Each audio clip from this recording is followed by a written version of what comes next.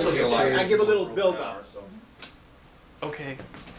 Welcome everyone to the Center for Marxist Education for what is this the fourth event in the I think it's the fifth. Fifth. Okay, thank Yeah. you. Fifth event in the 60s Cafe. Other events are online. Uh, the videos for them. And And this this is is the one this next Saturday, actually. Yeah, sorry. I was. Yeah, Uh, you, you're wrong, sorry. Uh, Jeff Perry, who is uh, a working class activist and scholar, who's done a lot of work with Hubert Harrison and Ted Allen, who I'll let him explain it all. Um, he's going to speak to us today. And next Saturday, we have Ron Jacobs, uh, counterpunch contributor, author of a book on the Weathermen and on anti-imperialism in the 70s, I believe, will be coming to speak here. So what, 2 o'clock? Yep. Okay, Yeah, so I'll give it over to Jeff. Thanks, Doug. Thanks, Joe. Thanks to the Center for Marxist Education. Um, going to speak today primarily on Theodore W. Allen, who lived from 1919 to 2005. Uh, how this ties into the 60s is Allen was actually in his 40s a member of SDS in the 1960s and uh, very influential in SDS and the New Left when he developed uh, some pioneering analysis of white skin privilege. But before that, for those not familiar with him, Allen, from eh, right out of high school went into the Communist Party, he's a coal mine, we'll, we'll get into some of his background. And I'll also be mentioning Hubert Harrison, who lives from 1818, actually lives to 1927. This is the first volume of a two-volume biography I'm doing on him. We have the books here. First multi-volume of an Afro-Caribbean, only the fifth of an uh, African-American, a total giant. He was the leading black activist in the Socialist Party. So we got a leading black socialist early 20th century, a very significant person coming out of the communist movement mid-century. Here we go. They are both autodidacts, self-educated working class intellectuals. And I think this is very important because in some ways, I think as is suggested here by George W. Stocking, uh, they can sometimes confront and analyze and assess what's going on without having their brains eaten up in the university, so to speak. And by that, I, I, when I say that, I immediately think of this quote from Marx, which I'm sure people here are familiar with, how the dominant, uh, the ruling class, and the ideas of the ruling class are in every epoch the ruling ideas. And I think that's true, and we see that in what goes on in universities. And just, I can't emphasize enough how I think that, you know, not only is this the, the most powerful country in the world, but a lot of the ideas, a lot of what I want to talk about today is really going to challenge that. This is not an easy task, right, to really cut through a lot of this. And that's why it can't be done in just sound bites, because we're fed in so many ways with, I think, a lot of incorrect ideas. Um, Harrison lives, as I said, from 1883 to 27. Now, I'm going to open with Harrison because I think he will help make clear what Allen does later, right? Harrison's from St. Croix in the Virgin Islands. For those not familiar with him, brilliant intellectual, race and class conscious, radical internationalist, called the father of Harlem radicalism by Randolph and others, A. Philip Randolph. And I've argued in my two books he's a key ideological link in the unity of the black liberation movement, the civil rights wing uh, and the uh, race nationalist tendencies, right? J.A. Rogers, world's great man of color, calls him the foremost Afro-American intellect of his era. Um, Randolph calls him the father of Harlem radicalism. Harrison is the only person in U.S. history uh, that I know of, and I think this is accurate, to play signal leading roles in the largest class radical and the largest race radical movement of his era. Leading black activist in the Socialist Party, the founder of the first organization and first newspaper of the New Negro movement, which in some ways is a precursor to the Black Power movement 50 years later. And then he becomes editor and principal radical influence on, uh, editor of Negro World and principal radical influence on the Garvey movement. Because he's a major radical influence on both A. Philip Randolph and Marcus Garvey, that's where that key link in the ideological unity. But if you take those lines of descent down, it is Martin and Malcolm when I grow up, because it's Martin who marches with Randolph at his side, and Malcolm, whose mother was a reporter for the same Negro World that Harrison edited, and father was a Garveyite preacher, right? So these lines. So Harrison is a giant. And both Allen and Harrison, they're autodidacts. When I started out maybe a decade ago, if you did Google searches, you might get 13 on, on Harrison and 85 on Allen. They're up Allen's 300,000 now or something like that, and Harrison's 130, 140. They are coming because what they say is so important. They speak truth, and I think particularly the younger generation who's really looking to address some of these issues, you know, is picking up on them. And um, so please pay attention um, as we go on. Uh, briefly on Harrison, just a couple key points, again, to get us to Allen. Harrison arrives from St. Croix in the Virgin Islands in 1900. When he arrives, he encounters a vicious white supremacy, unlike anything he knew down in St. Croix. And he comments on it, and so did so many of the early generation of Anglo-Caribbean, Afro-Anglo-Caribbean, from the Anglo-Caribbean, right? Marcus Garvey from Jamaica, Claude McKay from Jamaica, they all comment mm. similarly. Harrison says he was shocked by what he saw here. McKay phrases it very well. McKay writes, when I came to the United States, it was the first time I'd ever come face to face with such manifest, implacable hatred of my race. I had heard of prejudice in America, but never dreamed of it being so intensely bitter. And to this day, people coming to this country will comment similarly, right? That's true. All right. The difference, I use Harrison St. Croix as an example because I'm most familiar with it. But in St. Croix, the St. Croix that Harrison came from, there was no history of lynch terror, no formal segregation, class promotion among a sector of the African descended population was fostered, and white supremacy was not as virulent or as vicious. Why? And this is going to lead, pave the way for Allen, right? Very simply, in St. Croix, the background was of the 100% of the population when Harrison's growing up, you had 5% European, 80% of the population black, basically plantation laborers, 15% so-called colored of mixed African and European ancestry. In St. Croix, the greatly outnumbered European ruling elite, for social control reasons, social control becomes crucial in Allen's analysis. They implemented a policy of promoting a sector of the African descended population. In other words, they wanted to draw the middle element in because 5% couldn't rule, control 95%. They tried to use that middle element. A similar thing we see happen in Saint Domingue, in, in Haiti. And uh, that's written about by other scholars, right? And when push comes to shove in that struggle, the free colored side with the plantation labor force leads to, you know, emancipation and independence. But in, during slavery in St. Croix, there was the policy of promotion and landholding for a sector of the African descended population. Hubert Harrison, when he's born in 1883, is actually born on a plantation on an estate owned by two men of color. You would not find that in Virginia, in the U.S. for the most part, right? Um, the free coloreds in St. Croix, when, during the period of slavery, the free coloreds served in the militia, which was the principal instrument of social control. And in 1834, they passed a law in St. Croix, an edict of full equality, which at least nominally gave full equality between free coloreds and Europeans. Contrast that with the U.S. The general policy was one of severe racial proscription for all African Americans. There's no promotion, right? Slave patrols in the U.S., the instrument of social control, were lily white, no free coloreds. And the, rather than a, a, a, law, an edict of full equality, the law in the U.S. was codified in the Dred Scott decision that no black person has any rights that are white. So I'm trying to suggest it's a qualitative difference in how they maintain social control. All right. In Jamaica, just to drive that point home a little more, on the eve of emancipation in Jamaica, 23% of the African bond laborers, the enslaved population, were owned by people of color. That is totally different than what we see in the U.S., right? All right.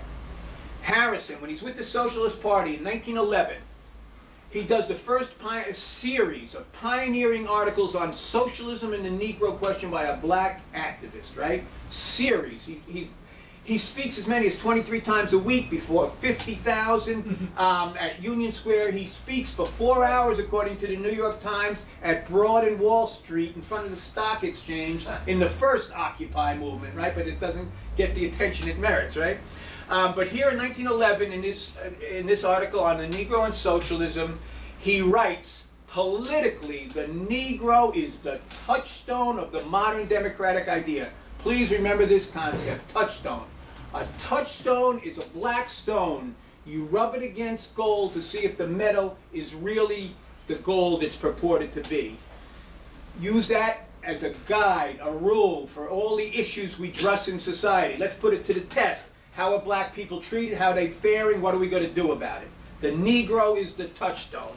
He goes on in that same passage to write essentially, true democracy and equality implies a revolution startling to even think of.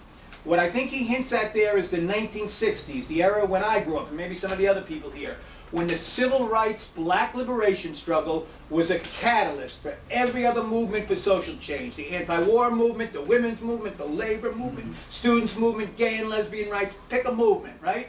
It was a catalyst. Why? Because the struggle was just and because it so directly hit at how the ruling class maintains social control, right? Going on, going quickly. Harrison, in 1912, in the International Socialist Review, leading publication monthly of the Socialist Party, writes, the 10 million Negroes of America form a group that is more essentially proletarian and was Negro under slavery was the most thoroughly exploited of the American proletariat.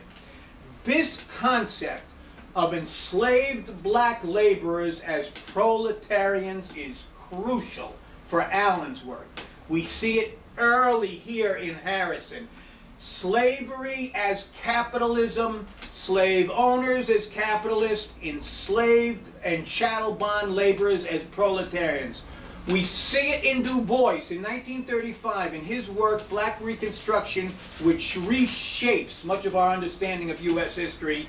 Uh, the, and when Du Bois writes, he calls it the kernel and the meaning of the labor movement white labor movement, with few exceptions, never had the intelligence or knowledge to see in black slavery and Reconstruction the kernel and meaning of the labor movement in the U.S. This is very important when we get to Allen, right? Harrison at the Paterson strike, Bill Haywood, Gurley Flynn. I showed this to a few people earlier. Um, he's a really, a truly an extraordinary activist in this whole period. I mentioned some of his talks. Harrison leaves, he was moving to the left when he spoke at Paterson. In 1914, he leaves the Socialist Party, and when he leaves, he offered what I argue is probably the most profound but least heated criticism in the history of the left, and that's why it's really unfortunate we haven't known more about him because we could have learned these lessons a little more thoroughly. Mm -hmm. And he writes, the Socialist Party, like the labor movement, has insisted on white race first and class after. It put the white race first before class. That leads us directly to the question, what is this white race thing, right? I mean, now, just before we get there, just one more thing on Harrison and race. Here he is in 1926. He's teaching world problems of race at the Institute for Social Studies, but also at the Workers' School of the Communist Party. He's teaching these courses, right? And on the left is Richard B. Moore with the book in his hand. Richard B. Moore of the African Blood Brotherhood, the Socialist Party, the Communist Party, Frederick Douglass book, your counterpart up in Harlem, the Frederick Douglass bookstore. Um, in the front row with uh, sitting with more books on, in his thing is W.A. Domingo, first, uh, socialist, first editor of Garvey's Negro World, goes back and very active in the movement in the Caribbean later on. First row, right over Harrison's head with a black hat, Williana Jones Burroughs, a leading woman in the international communist movement. She's active with Harrison in the early period. Her, her photo, which is in the book here, the Harrison biography, subsequently appeared on the front cover of Journal of African American History. She's big in the um, meetings of the International Trade Unionists. She's a New York City school teacher. She, she runs a English language program in Moscow for four years during World War II, right? Soviet Union. And in the back row is Hermie Huiswoud, another one active in the international communist movement. She's discussed at great length in a book by Moore's daughter, Joyce Moore Turner, who's still alive, 92, a wonderful historian. It's called Caribbean Crusaders and the Harlem Renaissance. But Joyce Moore Turner also wrote a wonderful book on her father, Richard B. Moore, a Caribbean militant in Harlem. Highly recommended. Um, at, in those lectures, here's what Harrison points out. And this is interesting because we're going to see a little similarity in Allen later. The King James Version of the Bible does not contain the word race in our modern sense, which he says suggests as late as 1611 our modern idea of race had not yet arisen. That's just to plant a little seed. We're going to get into that more. All right, here's Allen. This is around the time that he writes The Invention of the White Race, I think, that picture. But here's his background very briefly. 1919 to 2005, he's born in Indiana. His family moves to West Virginia. He graduates from Huntington, West Virginia High School. It's the SMSA, the Standard Metropolitan Statistical Area, that was, I think, lowest in the country at that time. I mean, he, he's living, you know, he's living, he's very much proletarianized during the Great Depression. He becomes a coal miner. He becomes president of three UMW locals in West Virginia. Uh, uh, he's also active in Pennsylvania. He's a factory worker, teacher, postal worker, as was Harrison, as was I. So we got the working class thing going here. And at, in the end, his last years, he was librarian at the Brooklyn Public. He did the homework hotline with the students, so he's community involved. He pioneers his white skin privilege analysis in 1965 Allen's white skin privilege analysis is far different than that of Peggy McIntosh, that which many of the younger generation has probably been exposed to, or that which you will read about if you go to uh, Wikipedia and the first thing says white skin privileges hold that all white people benefit from uh, racism. Allen's saying something totally different, and that's what we're going to share with you today. He is also pioneer of the invention of the white race analysis, he first starts coming out with it 1974, 75 in this little pamphlet. Uh, this is a, reprint of it. Um, and uh, which is entitled Class Struggle and the Origin of Racial Slavery, the Invention of the White Race. And it fully comes out in his two-volume work, um, The Invention of the White Race, Volume 1, Racial Oppression and Social Control in 1994, Volume 2, The Origin of Racial Oppression in Anglo-America in 1997.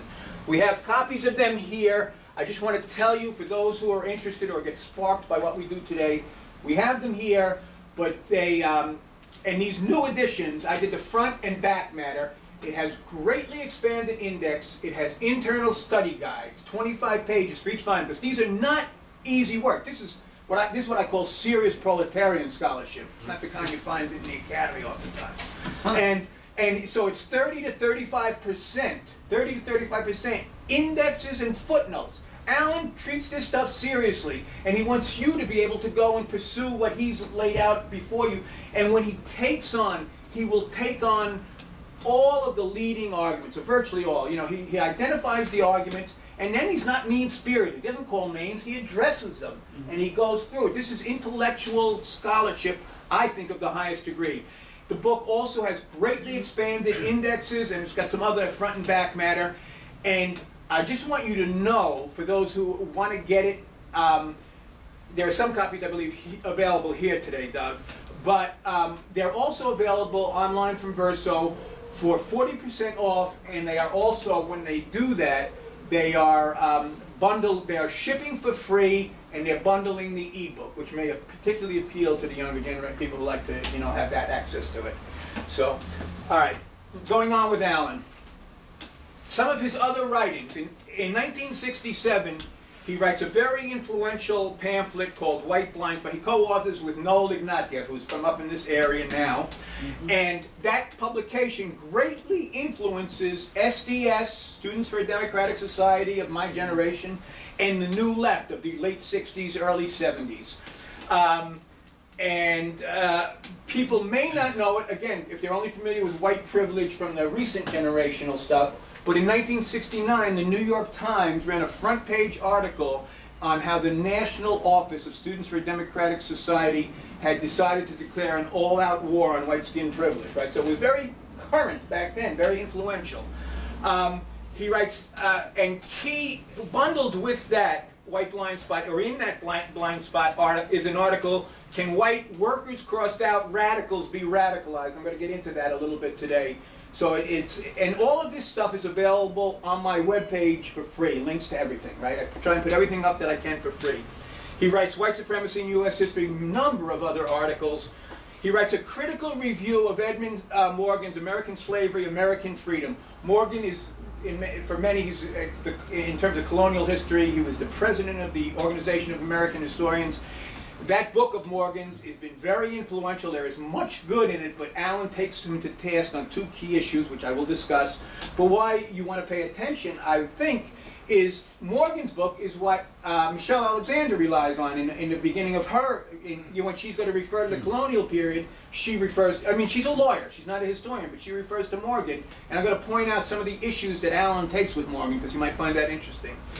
In defense of affirmative action and employment policies, race, race and ethnicity history in the 2000 census extremely important because he looks at the Hispanic category and he does a history of how it's been treated in the census and what's going on. And aside, besides all this very rich history and all the different groups that are affected and involved, because uh, people should be familiar, in the U.S. Census now, 2000, 2010, and moving ahead, people of what is, are the, is, is called Hispanic category, even though, as I pointed out, most of these people broke from Spain, right, and called, you know, refer to themselves otherwise, but the U.S. Census says Hispanic, are given the option to uh, indicate their race.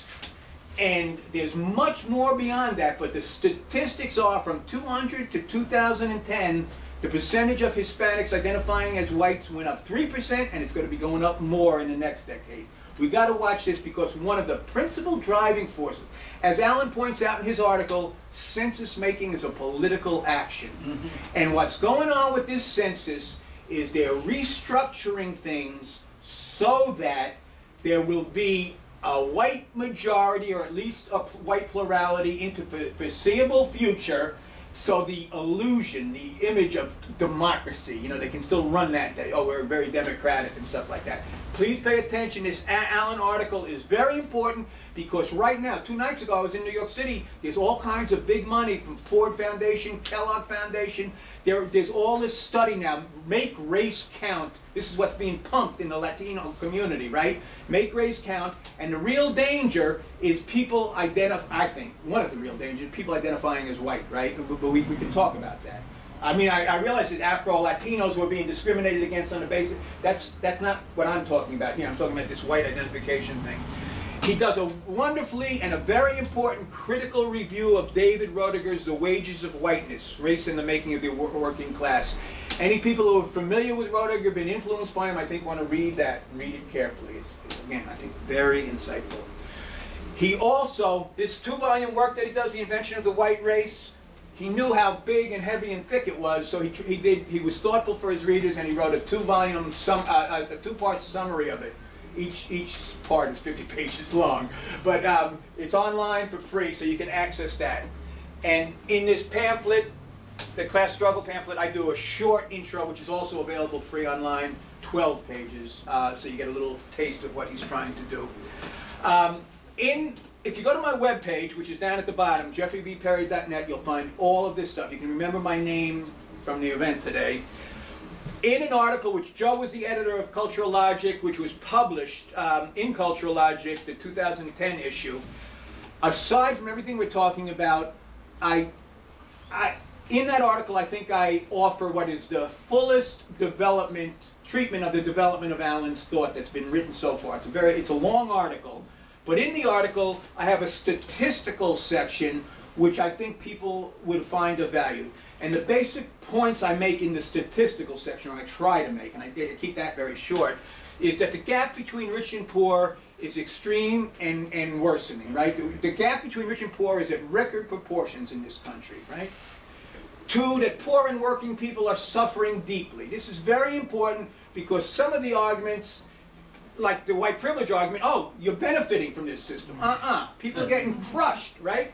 Three, comparisons with other advanced countries show how poorly U.S. workers are. And I do some international comparisons, maternity leave, paternity leave, social safety net, health care, these issues. And I think it's a type of research we want to encourage people to do or type of, you know, analysis we want people to do. You know, similar type things. And of, of course, the fourth point I make is through all of this, there's a white supremacist shaping to to every issue you look at, right? To every issue you look at. Housing, unemployment, health care. All right, so you might find that section interesting. Now we get into Allen. On the back of volume one of the original 1994 edition, Allen writes the following. When the first Africans arrived in Virginia in 1619, there were no white people there, would, nor would there be, according to the colonial records, for another 60 years. The word white doesn't appear in a Virginia colonial record until 1691. And Virginia's the pattern setting colony. Seven of the first 12 presidents come from there. Let's be clear, right? All right. There were no white people. He, he, points out others living in the colony at the time were English. They've been English when they left England. They and their Virginia born children were English. They were not white. White identity had to be carefully taught, and it would be another 60 years before the word would appear as a synonym for European American. Please listen to this. White identity had to be carefully taught. Think of that in terms of what's going on today, too. White identity had to. We, we can get into this. Who, who's telling people? You got to recognize you're white, you know? There were no white people there. 1640, John Punch. People may be familiar with John Punch. Ancestry.com, less than two years ago, came out with an article on John Punch, who was a man of African descent, who was a chattel bond servant in Virginia, who ran away with two other people, and when they were captured, he was sentenced to lifetime servitude.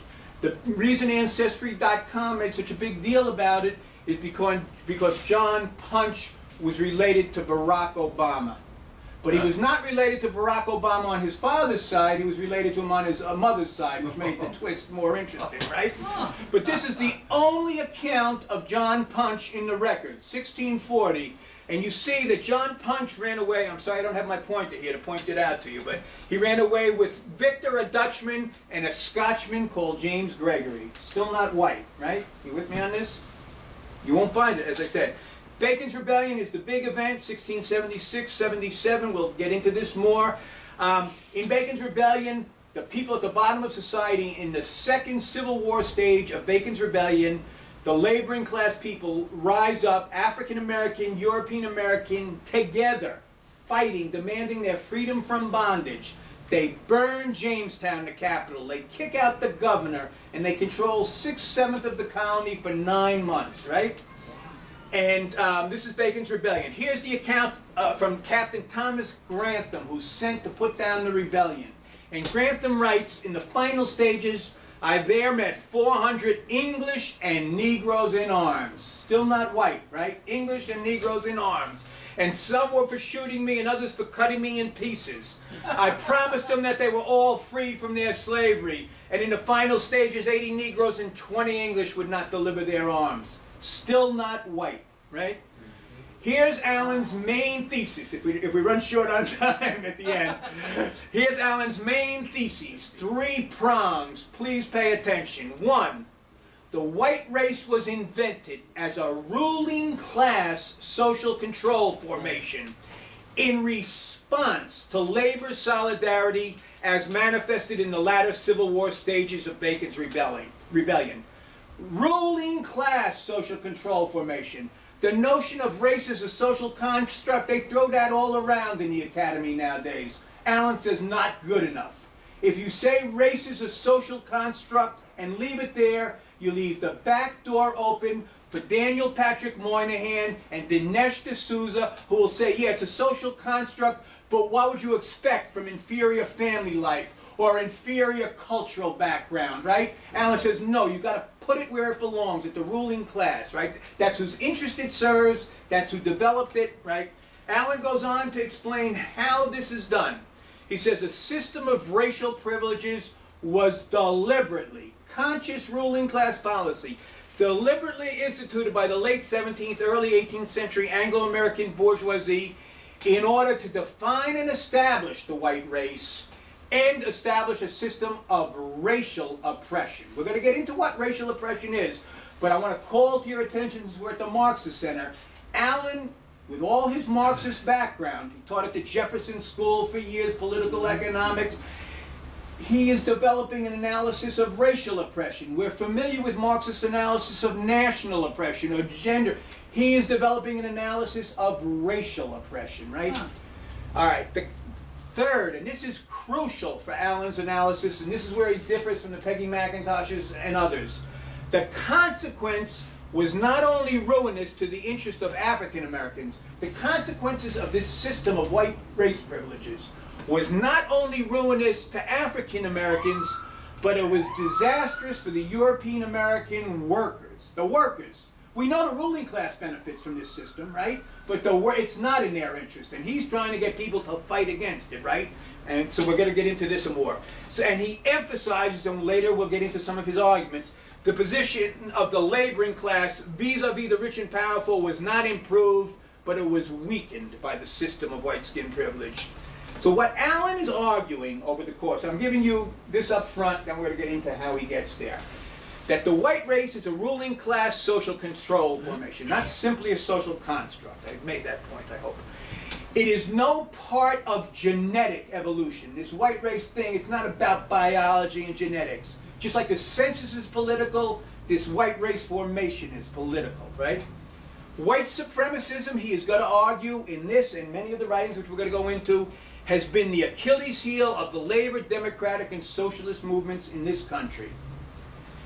White race and class collaboration. I come out of the labor movement, you come out of the labor movement, right? right? The worst thing you can be in the labor movement is a class collaborator. Now, Allen says this white race, this white race is a formation that includes the ruling class and the laboring class to serve the ruling class interests. So he says the white race held together by racial privileges. The key is the racial privileges to the laboring class, because it's against their interest, is the most basic, prevalent, and historic form of class collaborationism in this country. Going on. White identity. Here's where Allen gets deeper. This is why I didn't want to cut this one short today. Mm -hmm. The main barrier to class consciousness in the U.S. is the incubus of white identity white worker concept. If you think you're white, you side with the boss. You, we want to emphasize the worker. We don't want to emphasize that white, right? Got break from that white. Separate the workers from the white. This is what he's arguing, right? So that's just a little where we're going with this. Mm -hmm. Mm -hmm. Getting a little pumped here. Ted Allen, okay. this is what he probably looked like. I can't remember exactly, but I, I first met him in the late 60s. But this is around the time he's writing that white blind spot thing you know. And now here's a little of his history of how he comes to write all of this stuff. Again, he's a coal miner, hurts his back in the mine, comes up to New York, teaches at the Jefferson School, political economics. It's a Marxist school like this, only much bigger? And, um, uh, you know, he's teaching this. He, he's a key figure in some of the major conferences they do in the 50s. He leaves with a, a left offshoot after the uh, Khrushchev revelations, you know, in the 50s. There's people leaving the uh, Communist Party. He leaves uh, with some others in a group called the Provisional Organizing Committee. Oh? Yes. Oh. And he's a leading theoretician in that group, but he, he's writing under the pseudonym of Molly Pitcher at the time, right? Oh. And um, but then in the early '60s, he starts going. He you know he gets. He's not going to stay with that, and he kind of goes independent, and he starts trying to think things through anew for himself, right? So here he is in the mid '60s and he talks how the uh, he he starts out. He has a fascination with history. He's identified, as long as he can remember, with the ordinary people, and he has a conviction that racial discrimination is wrong. That's that's the basic building blocks he's working off of. It was a changed ambiance of the African American civil rights struggle, peace movement, etc. Remember that early quote about the autodidacts, how sometimes they capture the essence of their period in a very direct way? I think this is the case in Allen. I think it's also the case with Harrison during World War I era, right? Um, so he starts probing the possibility, could it be the could it be possible defeat suffered by democratic, progressive, populist, and socialist movements in this history of this country and the riddle of American exceptionalism. If you've heard the phrase American mm-hmm. exceptionalism, right. traditionally what it's referred to is why does the U.S. seem to be exempt from the normal course of class struggle, you know, as in other capitalist countries. Mm-hmm. And uh, so could he's arguing he's he's probing could it be found in white supremacism could this be the key to understanding this and he says du bois had planted that seed some 30 years earlier in black reconstruction so in 1965, he sets out to investigate three great previous crises. Civil War and Reconstruction is one, populist revolt of the 1890s is two, and Great Depression of 1930s is three. And that's why that article that I wrote went in the uh, journal that Joe edited, the developing conjuncture, this fourth crisis that's bit by bit developing, right? Uh, and I wanted to address that and build off this a little. Now, in the three previous crises, here's what Allen finds. These three uh, crises I just identified. The key to the defeat of forces of democracy, labor, and socialism was in each case achieved by ruling class appeals to white supremacism, basically by fostering white skin privileges of the laboring class European Americans. I'm going to cite the Great Depression very briefly because it's the most recent, but I think it, it's, it's very clear you know, but he, he makes arguments in, uh, in the other two crises too. The Great Depression, and you still hear people today say, oh, we need a New Deal, FDR type New Deal, that's the way we move forward, right? And so Allen says, no way, right?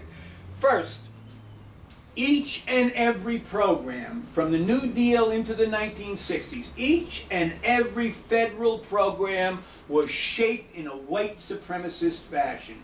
Why? because the basic troika of support of FDR, the three prongs were the labor unions, the corrupt de democratic machines in the cities, and the Dixiecrats down south, the same people who were in the Tea Party and the Republican Party today, shaping all that policy. So I come out of the labor movement. You look at the basic labor legislation of this country, Fair Labor Standards Act, National Labor Relations Act, Social Security until 1951, they exclude domestic and agricultural workers. 70% of your black and Latin workforce. Going on, um, that's the labor legislation. Relief, it's federal money, it's controlled locally. Great disparities, and particularly down south. Here's the big one, the GI Bill. I'm born in the Bronx. My family moves to New Jersey, right? But it's the same up here. The GI Bill, you can get a home with zero down payment and low interest loan. The statistics for New York, New Jersey area where I live, 67,000 GI loans are awarded. Less than 100 go to families of color. That's how you get the ring of white suburbs around New York and every city in this country. Conscious ruling class policy. And here's the fourth one, and I can't emphasize this one enough and I'd like to see people taking up this issue a little more. The black to white unemployment ratio. Everybody oh, knows it's two to one or some variant of this, but it wasn't always that way. In 1929, at the start of the Great Depression, the black to white unemployment ratio was one to one, which makes sense if you think about it because black laborers are brought here to work. Mm -hmm. By 1947, after all the programs of the New Deal and the post-war deployment, redeployment. It was two to one, and that's all we've ever known, as long as anybody in this room has been alive. Ruling class policy. You get this? All right. Everybody okay? We doing all right? Yeah. All right, here we go. So, and uh, we do more on this, but I'm, I'm going to skip. Now, Allen offers one other little thing in this period. He suggests that the history of class struggle in the U.S., this is just a little offering he makes, could briefly be interpreted in a five-stage cycle. Normal course of capital events brings deterioration of conditions of workers. Substance of the white workers' race privileges in stage two at a certain period starts to erode, you know, gets mm-hmm. attacked. All of a sudden, not all of a sudden, but the white workers in, the, in that situation start making overtures to let's have some unity, fellow brothers and sisters, you know, we're getting crushed here. And what has historically happened in stage four, he argues, is the ruling class has re-upped the uh, white race privileges and stuff like that, that the European American workers have unfortunately taken what he calls the poison bait. Allen says that white race privileges for the European American workers are a poison bait. They're like a shot of heroin. Mm. They may look good, but they're killing you and your class interests, right? This is very important, very different than that other stuff. And the, so that's what he argues. I just wanted to get that out. Now, when he starts writing these essays in this period, Allen's a Marxist. He wants social change, he wants socialism, come, right? So he's addressing the questions, and this is of great relevance, again, here at the Marxist Center. Why no socialism in the U.S.? Why this relatively low level of class consciousness in this U.S.? And why 100 years after emancipation is white supremacy so strong? So these are some of the questions in his back in the background. And on the question of why no socialism, he reviews the literature that's current in this period, and he argues that basically there's a consensus from the left and labor historians a six-pronged rationale. Now, if you want to see this in its core, go to William Z. Foster's History of the Communist Party. You're going to find it in there. But it's in these other writers too. I'm going to show you in a second. But the six-pronged rationale that are used to explain the low level of class consciousness, early right to vote, the heterogeneity of the workforce, free land safety valve, higher wage, social mobility. These are what you know these historian and labor historians have put forward. Now look who they are. He's ready to take them all on. Engels, Sorge, who translates capital into English, right? Ely, Hillquit, Foster, dominant figure in the Communist Party, Commons, Perlman, and these are the people, and he cites. And you, you, if you go to the articles, you, you can get the citations, right? Um, so that, that's where he's getting this from. And what he argues, he challenges that old consensus and he counters with his own theory. He says basically, look, at that six-pronged rationale is more myth than reality. And when you look more closely, because he goes, the free land safety valve, it wasn't working people getting that free land. It's going to railroads and things like this. He goes one by one through all of them. Mm. And he talks, he counters with his own superior, uh, theory that white supremacy reinforced amongst European Americans was the main retardant of class consciousness. And efforts at social change have to address this, right? Related to that is the question of why no Labor Party, why no significance left. And again, he's offering that same analysis, right? In the course of that, he also challenges, and this is where Allen's very good. This is in the 1967 to 69 period. He takes on the arguments. He's he's arguing that central to efforts at social change is struggle against white supremacy. But there are all kinds of arguments that come up then as they come up now. So he, he categorizes them and he calls them the artful dodges, right? And I'm not going to go, I didn't want to go through all six because I knew I was very consciously trying to keep this down. But one is level up, don't level down. You'll hear this from some groups on the left. You know, don't take anything away, right? You know, we, of course, what happens with that two to one black to white unemployment is that the white skin privilege policy goes in terms of the jobs too, right? Whites are first hired, last fired. So if you're not going to take anything away, so he argues, eh, you know, that the level up, level down is typified by fair employment through full employment. He says you're not going to get there unless you're prepared to deal with this. And as someone who's worked in the workplace and knows the situation, when you're going to try and bring workers together, they're going to come at you hard sometimes, and they might try and hit some people hard, right? And we've got to be ready to stick together to fight back, you know, and, and that's it. And on these issues, he's saying we've got to step forward and challenge all of these policies. Now, another one, and this one you'll find in uh, one writer who's very current today, start talking about short-term and long-term interest. Well, yeah, maybe, maybe in the uh, in the short term, obviously the interest, obviously, that's a quote, right? Obviously, the interest of white workers and black workers aren't the same. But in the long term, yeah, they, down the road they will. Allen says we're never going to get down the road unless we start addressing this inequality now, right? Um, so he's calling for a need for a direct attack. And this is in the period 67, 68, 69. Again, he emphasizes the privileges are a poison bait. They do not permit the masses of European American workers nor their children to escape from that class, the working class, right?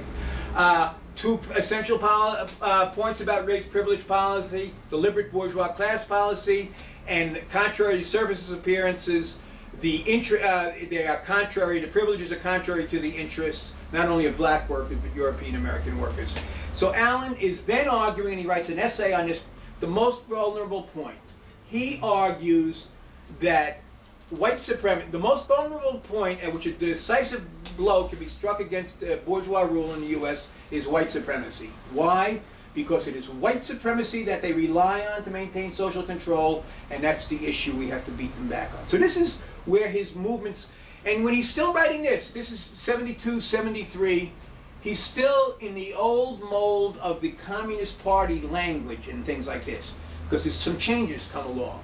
He talks about repudiation, and repudiation he understands is a throwing off. It's just not going to go away. You've got to challenge this stuff, and it's not a single one-act thing. It's you know day in day out. And we can talk about this more. I can talk in terms of the work we did in the post office. Struggle against white supremacy and imperialism totally linked. He emphasizes that. The slide's up there. People can read in more detail.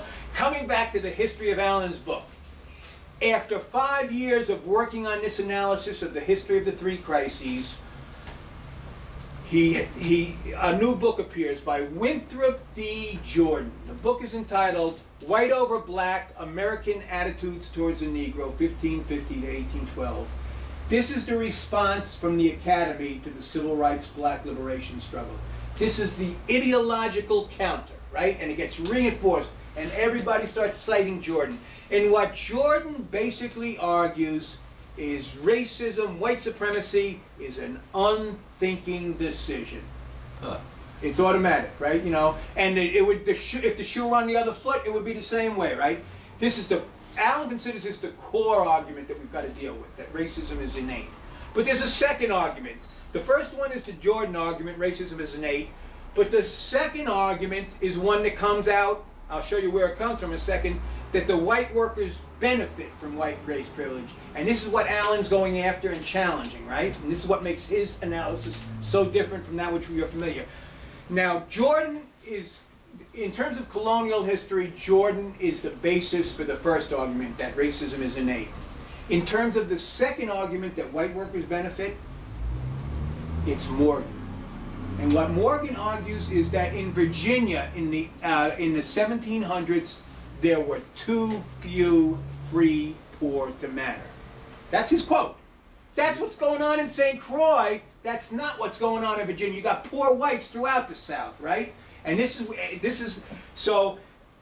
And Allen Allen goes after Morgan. He, um, Say that again. Too few. free poor. Here's the quote: There were too few free poor European Americans on hand to matter.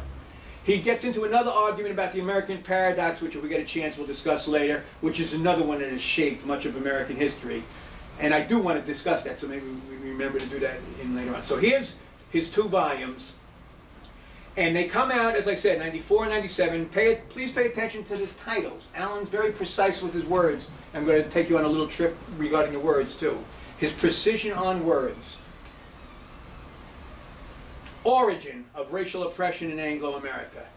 Allen's precision with words. Origin, not origins. Why does Allen use origin of racial oppression, not origins? Well, he explains. It has the desired specificity. Darwin's origin of species, Engels' origin of the family private property. He goes, my book, I use origin because class struggle is the origin of racial oppression. This is a class struggle approach to history, right? It's a response to class struggle, right? Allen says more things. Whiteness. This is a phrase that's current out there all over the academy and lots of places. He puts it in quotes and shies away from it. He says it's an abstract noun. It's not the role that people play. Uh, and he says the white race is an actual objective thing, not biological, but it functions, right?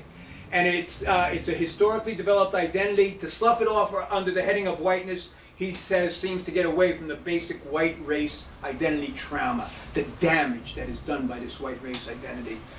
And finally, for 14 years on the back cover of the book, be, and see origin, whiteness, and, and, and racism. That is the third word. For 14 years on the back cover of the book, there was a description of Allen's two-volume work as a history of the origins, plural, of, um, of uh, racism.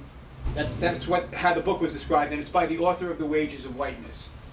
Allen doesn't use whiteness, he doesn't use origins, and here he writes, look, my book is not about racism. My book is what is titled. It's the invention of the white race. He's trying to analyze what is this white race thing. We got to go after it, and right. So, just and all of this, these this definition stuff is in my article, so you can find it and think about it more. Okay, here's volume one. We'll go another 25 minutes, Joe. Something like that. We good. We're good. All right. Okay, volume one. I've, I've told you what's on the back cover. Um, Allen writes in the acknowledgement, in, in the beginning of his book, his acknowledgement section, and here he is, here's what he looks like, right? He writes, he, first I acknowledge my obligation to two fellow proletarian intellectuals, Charles Johnson and William Carlotti, who cleared away ideological barnacles and taught me to say, I am not white. Right? Think about that. I, I don't know, I, I got a census uh, questionnaire this year, I don't know if anyone else here did, where they ask you to identify your race. I don't know how people handle that, but we can talk about that.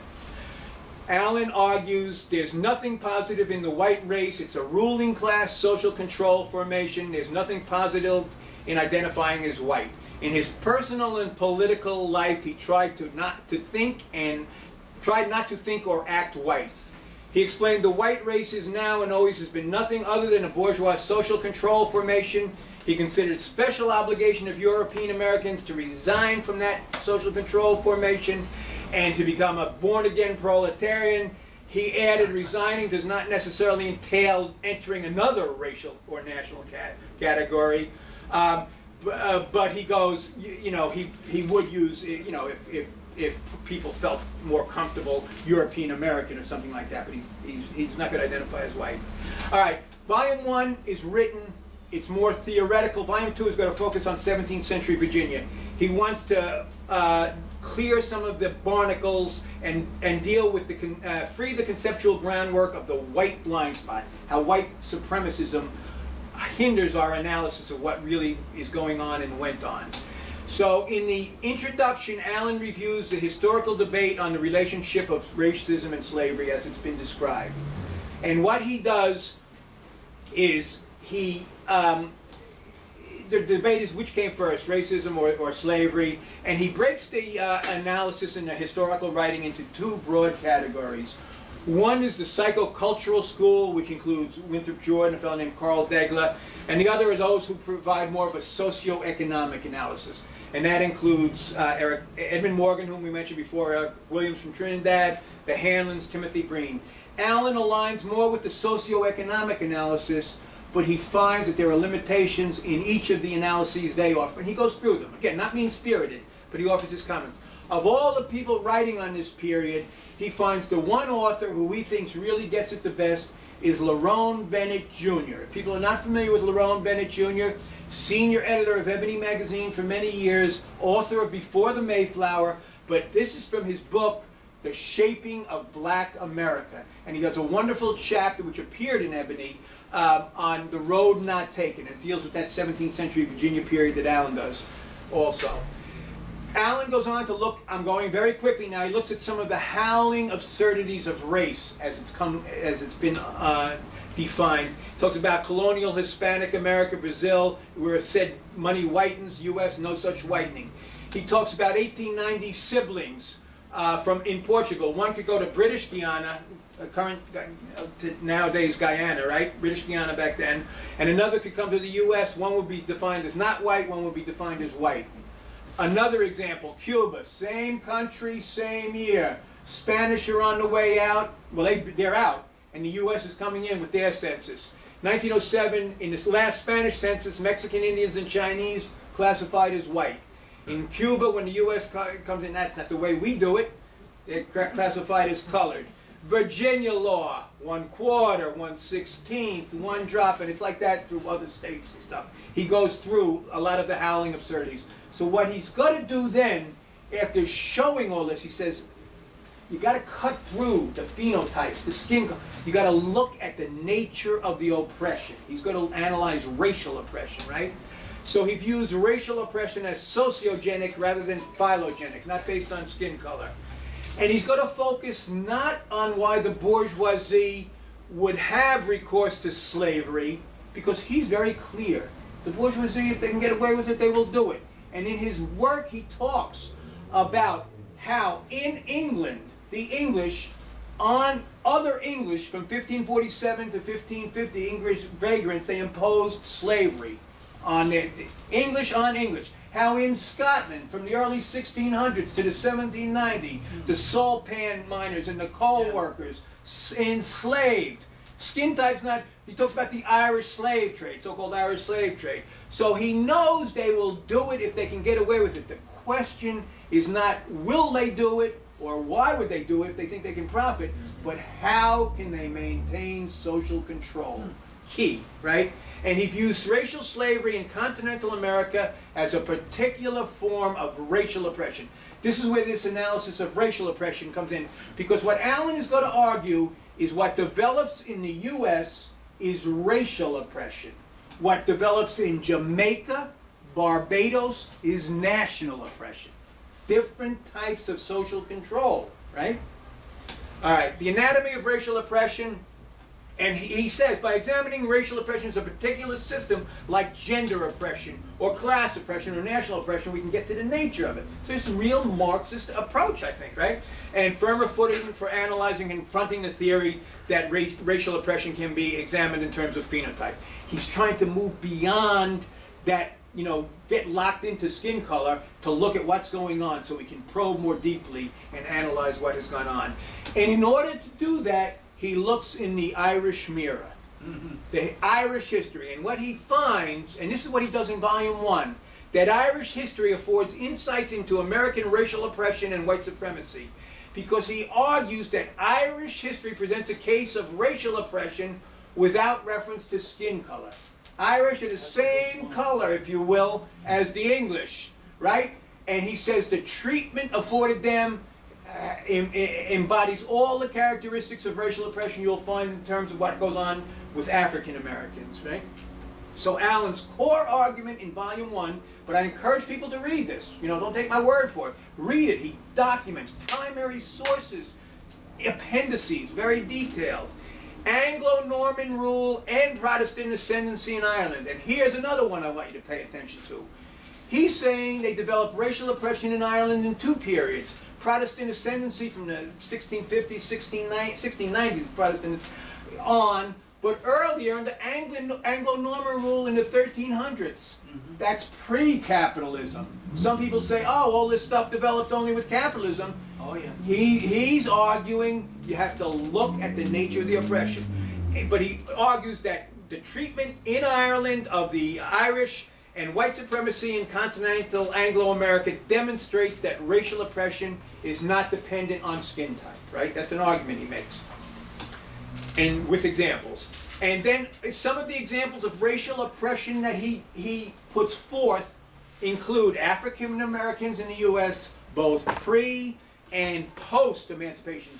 When I told you, please don't pay attention to the blurb on the back cover of the book, volume two, the Verso editor is implying that Allen says racial oppression ends with emancipation. It doesn't. He says it gets reconstituted after the Civil War and Reconstruction, racial oppression, right? Um, he says another example of racial oppression is American Indians, but not in the beginning, not in Virginia in the beginning. He says it's later on, and he goes into why he makes that argument. And the Irish from the early 13th century and then after 1652. All right. Four defining characteristics of racial oppression. When he goes into it, he describes, he offers some hallmarks, some defining characteristics, declassing legislation, deprivation of civil rights, illegalization of literacy, and displacement of family rights. I just want to point out, each of these four characteristics back then has its modern day version today. We're still dealing with these, right? All right. Hallmark of racial oppression, reduction of all members to one undifferentiated social status beneath that of any member of the... That's the Dred Scott decision, right? No black person has any rights. Now, where the option was for racial oppression, Allen argues, because he's a Marxist and he's analyzing this all the time, a successful policy for the oppressor, for the bourgeoisie, was one that could maximize the return on capital investment while assuring a system of social control, right? This is the bourgeoisie has two tasks. All he's arguing all the time. They want to make profit, they got to maintain social control. And they will do it in different ways. They will have racial oppression, they will have national oppression, they have straight class, you know, whatever whatever it takes. And he's going to talk, in second, we'll see what he says about Ireland again. So the general principles of social control um, after establishing, uh, oh, did I skip? Where they found and developed and well-defined uh, differences. Okay, I, I want to get to this. Forgive me for jumping there. But differences in social control. The intermediate social control, here's what he says. Racial oppression, the key to maintaining social control is the laboring elements from the oppressor group. Under national oppression, the key to maintaining social control is the element from the oppressed group that gets promoted into that intermediate status, if you will. That's key differences. Uh, in Virginia, he says there was no, no persons of discernible non-European persons of discernible non-European ancestry were denied a role in social control, whereas in the Caribbean, the so-called mulattoes were promoted, born on an estate that's owned by men of color. That's why 23% of the enslaved population in Jamaica, upon the eve of emancipation, owned by. It's a different system of social control, right? And it's rooted in the objective fact that in the West Indies there were too few laboring class. The demographics which influenced the, uh, the struggle in the Caribbean, these small islands, and particularly the Anglo-Caribbean, and they're producing sugar, which is capital intensive. It needs big plantation. The poor farmers, what you know, even after they get emancipated from their bondage or whatever, they can't compete with the big sugar plantations. So they, they flee oftentimes, right? Um, so Allen argues, and here's where he gets even deeper into this question of racial oppression, national oppression, and not being based on phenotype. He says the British West Indies and Ireland demonstrate the relativity of race. In both cases, the colonial ruling power, faced with a combination of insurrectionary pressures, resol- resolved the situation by decision to recruit elements of the oppressed group. In Ireland, what Allen argues is the British are racially oppressing the Irish. There's a struggle from the Irish, and at a certain point in the late 1700s, early 1800s, they concede, if you will, to allow a role for the Irish national bourgeoisie. So they allow for Ireland, what we call Ireland today, but they maintain the bedrock of racial oppression in Ulster, right? So they, they Yes. have national oppression in Ireland, racial oppression in Northern Ireland. In the Ang- in the Caribbean, they they can a- adapt to national oppression. They still control, right? Just a different form of. Whereas in Anglo-America, they maintain racial oppression. So he's trying to argue on the relativity of uh, all of these means of social control. So national oppression in West Indies, racial oppression in the U.S. So when I showed you that Harrison quote earlier, or Claude McKay, they're coming from that situation in the Caribbean, right? Where people of African descent play prominent roles. And that's why Harrison uh, said, talk, Allen calls it the culture shock. Harrison writes in a letter to the New York Times that he's shocked by what he encounters here. I read you the McKay quote earlier. Just finishing up volume one, and again, I'm going very fast. Allen argues a few more things. He goes, after the Civil War and emancipation, the ruling elite of the country as a whole opted to maintain the system of social control that had been developed in the South based on white privileges and white supremacy. And he goes through all of that, and he talks particularly about how it's implemented in terms of land policy, immigration policy, and industrial employment, right? Hmm. Very good stuff. I think people want to read it. And he talks also about the Irish sea change. He calls it a sea change. And this gets into what we were talking about before in terms of Latinos also. But when he, he talks about the Irish sea change, he talks about how the Irish are victims of racial oppression in Ireland. They hate the British with a passion, right? They support abolition of African Americans. And they come here, and within two generations, they become white defenders of the slaveocracy, opponents of abolition. Thank you. Within two generations, and but he talks about how where the driving force is that, and the plantation elite and related financial interests.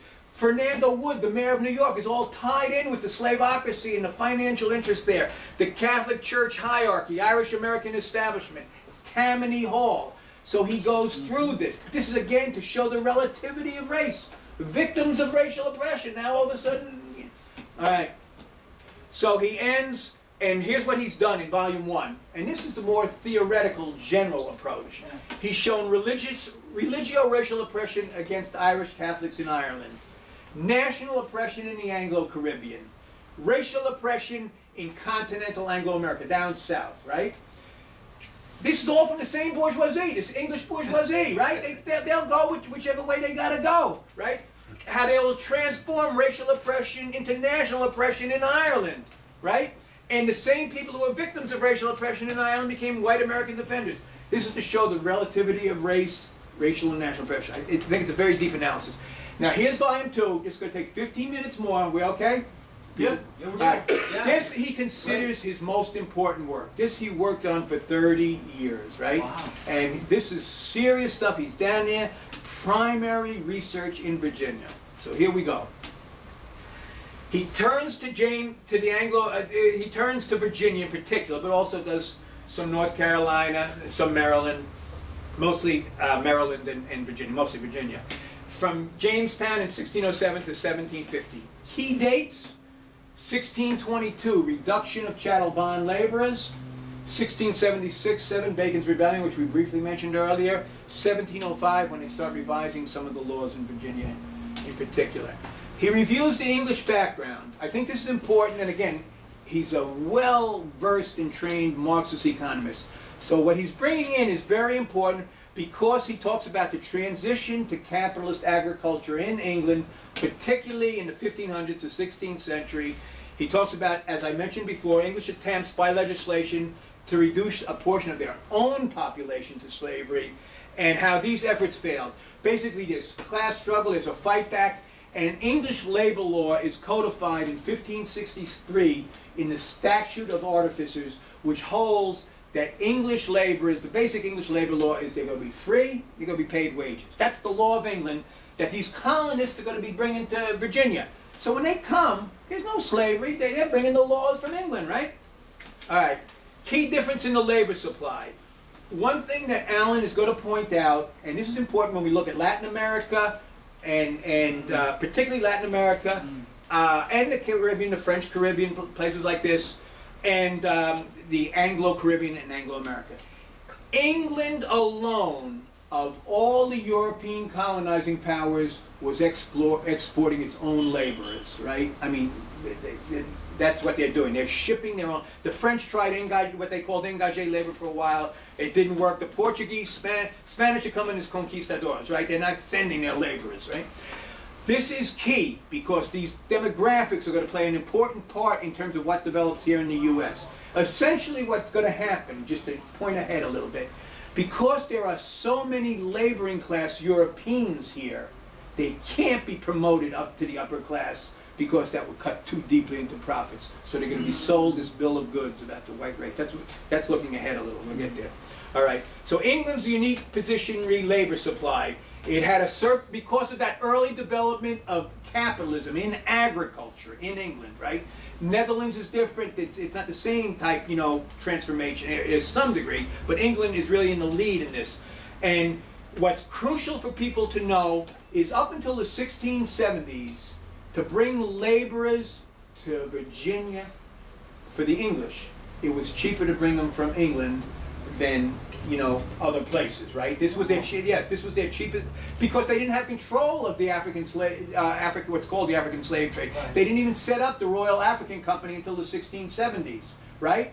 So for England, they wanted to populate these plantations in Virginia. It's English laborers in some degree, but mostly English that they're going to be bringing. But watch what happens to them. Uh, so one aspect, the peculiarity of the English labor supply was not the cause, but it was an essential condition for the origin of the peculiar institution. Now, peculiar institution, for those who have studied a little U.S. history, there's a fellow named Kenneth Stampp some years ago wrote a book about the peculiar institution. It's about slavery. Allen stands Stampp on his head like he stands Morgan on his head and all these people. He says, nah, the real peculiar institution in the U.S. is the white race. Right? See, the, the slave owners used to refer to slavery. They, they didn't even want to call it by its name. And they would, with a snide, snide snicker and a wink and stuff, refer to our peculiar institution. But Allen says what's really the peculiar institution in this country is this white race thing that they create, which, it, you know, really is developed here, right? So let's, we'll go on. Peculiarity of racial slavery was in the buffer social control system. It's mainly supplied, this is what's peculiar about the social control they developed in Virginia. It's mainly supplied from the mass of free proletarians and semi-proletarians as it develops and it excludes all persons of any degree of discernible non-European ancestry. That's what's particularly peculiar about what happens. In this second volume, he does important sections on African migration and the peopling of America, including important uh, appendices. And he talks about the migration but the numbers, 10 to 11 million Africans, most people do not realize that more Africans than Europeans came to the Americas from 1500 to 1800. So a significant shaping role in the Americas. He talks about African migration and resistance, pays particular attention to the Haitian Revolution and uh, its impact on the British West Indies, the U.S., Cuba, and Brazil, but also, and this is crucial, it is from Haiti that Simon Bolivar twice goes and then departs in his efforts to bring, you know, to fight liberation struggles in South America, right? So the interconnection between the African and Latino, right? Going back to Virginia now, the 1606 Virginia Car- uh, Charter. This is when they set it up for Jamestown. This is it. They're going to have all the rights, liberties, franchises, and immunities of free denizens and natural subjects of England. Wages will be paid, labor is free. That's how Virginia's set up, right? No slave, no, no, no slavery. First Africans don't even come, and they're not enslaved when they first come, right? Colonial Virginia. Was it capitalism? Allen has no doubt. He goes through, he talks about what their money, he goes in detail about what they do, but it's not simply what their backgrounds are, how it's set up. Rents, traffics, the prospects, uh, prospectus promised investors 33 and a third percent return. Quotes John Smith, all their aim was nothing but present profit. And he goes on and on. That's in terms of that background, but he gets into the relations of production also. And this is what's really important about his work, because he knows that analysis, right? Plantations were capitalist enterprises. He's very, and why this is important, because when the Communist Party, amongst other reasons, when the Communist Party starts developing national question analysis in the late 1920s and 30s, mostly imported from Soviet nationality theory, the explanations on the U.S. that you'll see in James S. Allen and Harry Haywood are phrases like semi-feudal, peasantry, and things like this. He's saying, no, let's be clear, this is capitalism. We've got to understand what we're dealing with. So its production was mon monopolized by one class. Non-owners were reduced to absolute dependence on the owners and could live only by the alienation of their labor power. The products of the plantation took the form of commodities, and the aim of production was the accumulation and expansion of capital. All right. The Powhatan Indians were the, were the Native Americans in the area of Jamestown when the settlement occurs. In the first decade or, decade or two, they had the preponderance of power. You had a little similar thing up here in New England for a while, right? And actually, the period 1609, 1610 was called the starving period down around Jamestown because the colonists couldn't get, get by, and as, as happens elsewhere, right? The Native Americans saved them and helped pull them through it, right? But the Native American population in Jamestown, certain key things about it, they could not be surrounded because one of the unique things about the U.S., but you see it also in Brazil, but it's, you don't see it so much in um, the Caribbean, is there's a great continental expanse. So there's avenues, you know, if the if the Europeans come and try and impose some unfavorable conditions on Native Americans, they can just get it, you know, we're leaving, right? But it's not so easy in the Caribbean, right? So they could not be surrounded, they could not be exterminated as in island colonies, and they could not be brought under that degree of administrative control. So when the English come, if they want to even develop plantations, right? English, the Native American labor force is not going to be it. They also were not in Virginia, it was not such a hierarchical structure as you saw with the Aztecs and the Incas in Peru, where they were able to utilize the existing social structure. Allen goes into all of this in some detail. Um, the Powhatan were well provisioned, as I said, they shared with the uh, English in the early period. We see in the early period as they start to develop plantations, right, to produce tobacco, right? Tobacco is the crop down in Virginia. Mm -hmm. we see some early efforts to bring intermediate forms of servitude. People coming with less than full rights, even though there's the full rights of the English. But these are coming from England. And they're bringing imprisoned convicts, or Ireland. Yeah, they'll ship yeah. some from Ireland, but it's still mostly England in this period. Yeah. Vagrants, maids for wives, women to be matched up and paired up. Duty boys, that's youth, brought out of the youth homes and stuff on a ship called the Duty, right? So this is who they're bringing, and they're put, and they have less than full status at first. But this is still before the first Africans come, right? First Africans are 1619. Right. So they got they got no qualms about doing this, right? And, and see, Allen's a worker. Allen's clear. He knows the bourgeoisie will do this. You know, he's a coal miner. Huh? Not quite. No, we're going to get in. Indentured servants is a great is a great misnomer. In, and uh, we're going to get into that because indenture is a signed contract, willingly signed. Yeah, the majority do not come. The majority in 17th century Virginia are not indentured. We've been oh. taught since we were long, yeah, young, indentured servants and slaves. Right. Step back. We're going through that. It, it's not that kind of party, right? Intermediate bond servitude. Okay. So they're coming, and this is in the early period, so before the first Africans. First Africans come August 16, 19. They're actually, whatever their status was on the seas, on the high seas, when they get to Virginia, they're not slaves because there's no slavery in Virginia.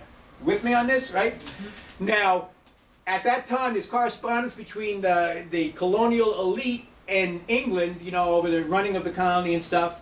And they're complaining here that there's a shortage of food in Virginia. And they need more supply. Blah, blah. Yet they trade victuals for the for the African slaves, which you know shows how they'll talk out of both sides of their mouth. But that shows, as Allen points out, that they're trying to create an oversupply of labor, you know, to just drive conditions down further. So first arrivals. Here's a key event. So you've got mostly English, some very very small amount of Africans, and mostly everyone basic capitalist relations of production. The key relations of production in terms of work amongst laboring people were tenants at halves and wage laborers, both capitalist relations of production. A tenant at half, if you had an agreement where you work the land and you keep half and you turn over half to the person who owns the land or something like that, or wage labor. 22 March 1622, very important date. Powhatan Indians under their chief, Opechancanough, mount in relative terms the strongest effort ever made to halt Anglo-American occupation on Indian lands. On that day, one third of the colonists of Virginia are wiped out in one day. Within the next year, another third would die. Wow. Of the survivors, two thirds were not fit for work. The, the ruling elite said you couldn't even go out more than a few feet beyond the confines of the fort to grow corn, which was what they ate, the main crop, because you, there was no protection, you know, and they, they were fearful for attack. So what does the ruling elite do in this situation? This is what Naomi Klein calls um, shock doctrine, right? You've got a Yeah, yeah. vulnerable population. They impose new status, new labor categories. And they do it primarily on European American, on English laboring people. Here's the attack. Af- for the elite after 1622, the laboring classes were totally dependent on the bourgeoisie who controlled the supplies of food and stuff like that. They were compelled to submit to the conditions dictated by the bourgeoisie, the status of bond laborers. Chattel bond laborers starts developing after 1622. Chattel, your property. Right. You can be bought and sold. Right. You're bonded to somebody. They are not signing indentures, right? You asked about that. Oh. And when they write about this, just like they don't mention a hundred and some odd years later, they don't want to mention slavery in the Constitution and stuff. They call it the custom of the country. That's how they code this shit. You know, when, the, the chattelization, the custom of the country. By the spring of 1622, you see new things appearing in the law. People can be bought and sold, right? Heirs, heirs and assigned. You can be assigned to somebody else, right? So chattel bond servitude, what they develop after 1622, one, it's a qualitative break from England. This is why it's not feudalism or anything like that. Break from the statute of artificers, because that says you're, you're free and you get paid wages. It's a break from that. It's not a feudal carryover. Under feudalism, there's a two-way bondage. There's responsibilities both ways. Here, you can be sold, but you got no say over it, right? It's imposed as custom of the country. It's not apprenticeship. This is a new relation of production, a new status. Here are the numbers. Please pay attention. You asked, somebody asked about this.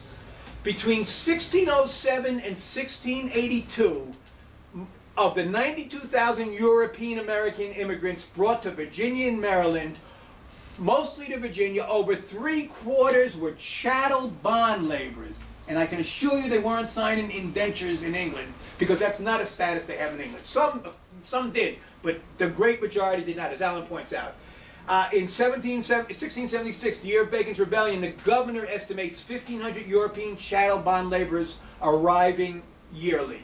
Such re- recruitment was generally coercive. Few were wholehearted volunteers, right? And ha- where are they getting these laborers from? Some were kidnapped, Right. some were convict, prisoners taken in rebellion, and the conditions were very bad in England, right? So people were facing great poverty too. There's a host of situations going on. But Allen goes into this in great detail, so you can probe more deeply any questions you have, right? Um, in this period of chattel bond labor, this is very important. There's a denial of family life. Marriage status was incompatible. If you're going to be working four, five, or six years as a chattel bondser, they don't want you to have children. That's time off from work, right? So all kinds of normal family life or for, fornication becomes a crime, right? Yeah, no. It, uh, so the employing class outlawed sexual and family life amongst limited term bond laborers. Fornication, reason to rebel. right? For, fornication and adultery were punishable by fine, whipping, or two to three months imprisonment. Jesus. Women were exposed to special oppression, right? And you'll see this, and Allen pays particular attention to this throughout, and when he's dealing with capitalism in England also. And the wife's servitude should be twice the time for which she was bound, ah. made a crime for ministers to perform marriage on a bond labor. Law made children of such marriages illegitimate, right? Ah. 17th century, 17th century, the 1600s, African Americans and Europeans. Allen makes this point, as does Lerone Bennett Jr. in the book that I mentioned. Lives of African American and European American laborers and chattel bond servants, servants were very similar up through Bacon's Rebellion, at which time three quarters of the chattel bond servants were European. They, the conditions were bad. It was no Garden of Eden, right? They, the conditions were bad, but European Americans and African Americans did what normal people would do under those conditions. They fought together, they ran away together, they made love together, they functioned together, right? Life expectancy of bond servants was low. Most of the plantations were, servants were limited term bond servants. Three, four, five, six, seven. When they could get away with imposing more, the, the ruling elite would do it, right? The status of African Americans in 17th century. Most people don't know this. We're fed, you know, Kunta Kinte getting off the boat, you know, to a full-blown system in roots, right? But it wasn't like that. This is 100 years, 150 years before then. 17th century African Americans in Virginia, if they owned property, and some did, right, could exercise marriage rights, exhibited social mobility, some had significant land holding, some were owners of European bond laborers. They exhibited many forms of resistance. Most people don't know this history, right? The status of African Americans, Allen argues, was indeterminate because it was still being struggled out. It it wasn't. It wasn't. Everything wasn't set up in place in this period, mm-hmm. and the issue of slavery versus freedom was being fought out. The very important case for the black family, family life, male supremacy, white supremacy is the Elizabeth Key case. Elizabeth was the child of a European American father and an African American mother. She was scheduled, scheduled to complete her term of uh, servitude when the estate to which she was bonded sought to impose lifetime servitude. Her parents had died. She was supposed to be ending her servitude, her short, limited term servitude, and the people who had claim to her, her labor were trying to extend it, right? She, here, that's a rendition of her. She does, back then, African Americans could go to court. She goes to court, right? You're not going to be able to do this a century later. And she argues on two grounds.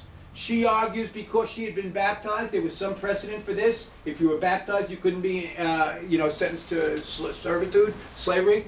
And she argues that common law principle in England, in England, they bring the laws of England here to the colonies. The law, the common law is partus sequitur patrem. Forgive my Latin, right? The status of the child follows that of the father. Her father's English. She should be free, right? She prevails. She wins, right? Within six years, they say, wait a minute, the- they, the ruling elite. This is where the conscious decision making comes in. No, that's not the direction we want to move, right? And they change it. And they change it to partus sequitur ventrem. The status of the child follows the status of the mother, which means as, as chattel bondage and particularly as ra- racial slavery develops, then all the children of the enslaved women who may be taken advantage of, whether they're taken advantage of by overseers or others, right, become enslaved, right? This is the direction they want to move. This is crucial. This is a qualitative change. When I grow up and I'm going to college, there's a book by a fellow named Herbert Gutman on the black family and slavery and freedom. Oh, everybody thinks Gutman, he's a great historian, blah, blah. He starts the book in 1790. You got to go back to this. This is a qualitative change. We have to look at and analyze and understand that. So what Allen's arguing is in this period, pre-Bacon's rebellion, the white race did not exist. The plantation bourgeoisie was pressing for extended servitude, for more prescriptions on free Ameri- Americans. But he's also arguing, and this is important, the invention of the white race at the beginning of the 18th century can in no part be ascribed to demands by European American laboring people for privileges vis-a-vis African. That's not what was happening. They weren't saying we want privileges over the. They were fighting together. They were Yeah, in yeah. similar circumstances. Okay, the Dutch controlled much of the trade in Africa in labor in this period because they, they were uh, very prominent on the seas. But within less than 40 years after the founding of the Royal African Company, the English would become preeminent. The number of bond laborers was increasing. Between 1671 and um, uh, in 1671 there were 8,000 of 15,000 tithables people taxed in Virginia were bond laborers, 6,000 European, 2,000 African Americans. Between 1680 and 70, after Bacon's Rebellion, 33 30,000 European Americans came, 24,000 were bond laborers.